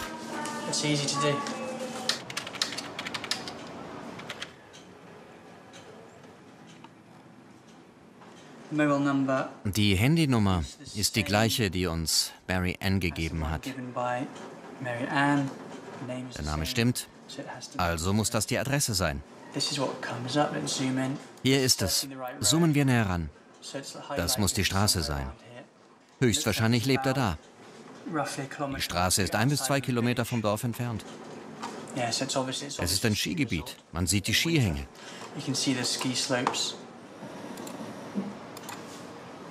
Im Internet ist der Mann ein Unbekannter. Es ist nicht viel über ihn zu finden. Nichts. Ich wäre nicht überrascht, wenn er wüsste, dass er, wie soll ich sagen, am anderen Ende der Welt etwas zu regeln hat. Die einen Ausländer leben hier, die anderen nicht. Sind sie hier in den Philippinen, ist es einfach. Wir bringen sie vor Gericht wegen Kindsvernachlässigung. Das Gesetz ist eindeutig. Väter müssen zahlen, egal ob die Mutter ihre Frau oder Geliebte ist. Das spielt vor Gericht keine Rolle.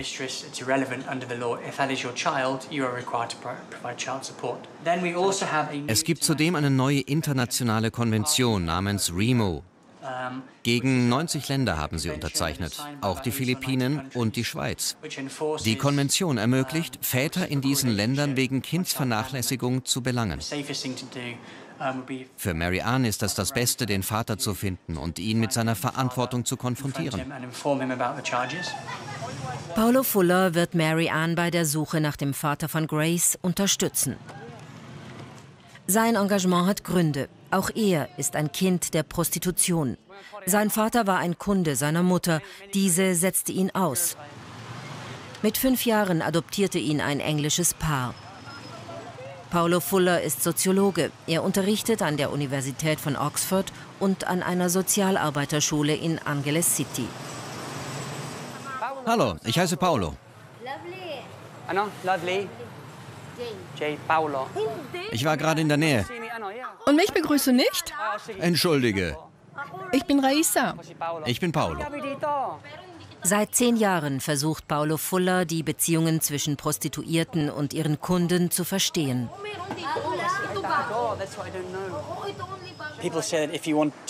Die Männer, die nur Sex wollen, gehen nach Thailand. Dieses Land ist perfekt für One-Night-Stands. Sextouristen, die... Antwortet sie Priscillas Frage. Es gibt keine Anna in der...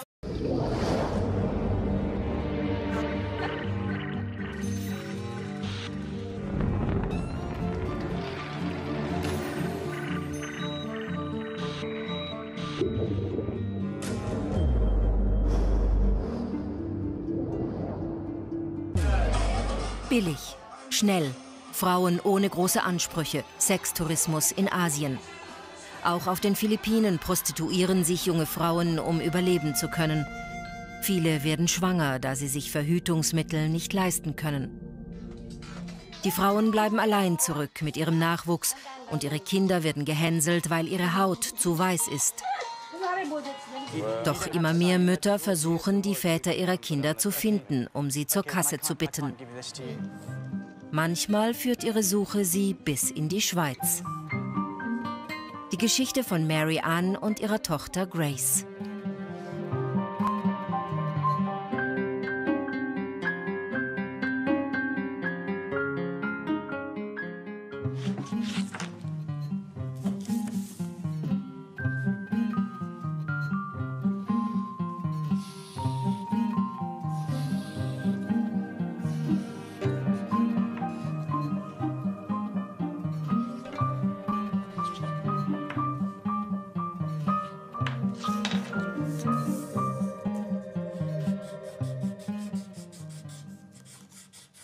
Deine Wolken haben Gesichter?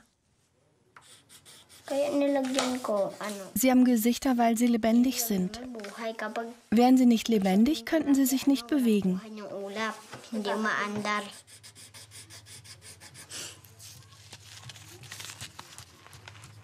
Warum zieht eine so ein Gesicht?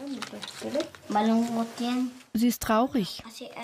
Die anderen wollen nicht mit ihr spielen. Das macht sie wütend.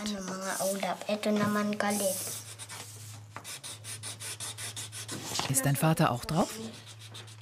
Er ist da. Was tut er? Nichts. Er liegt nur da.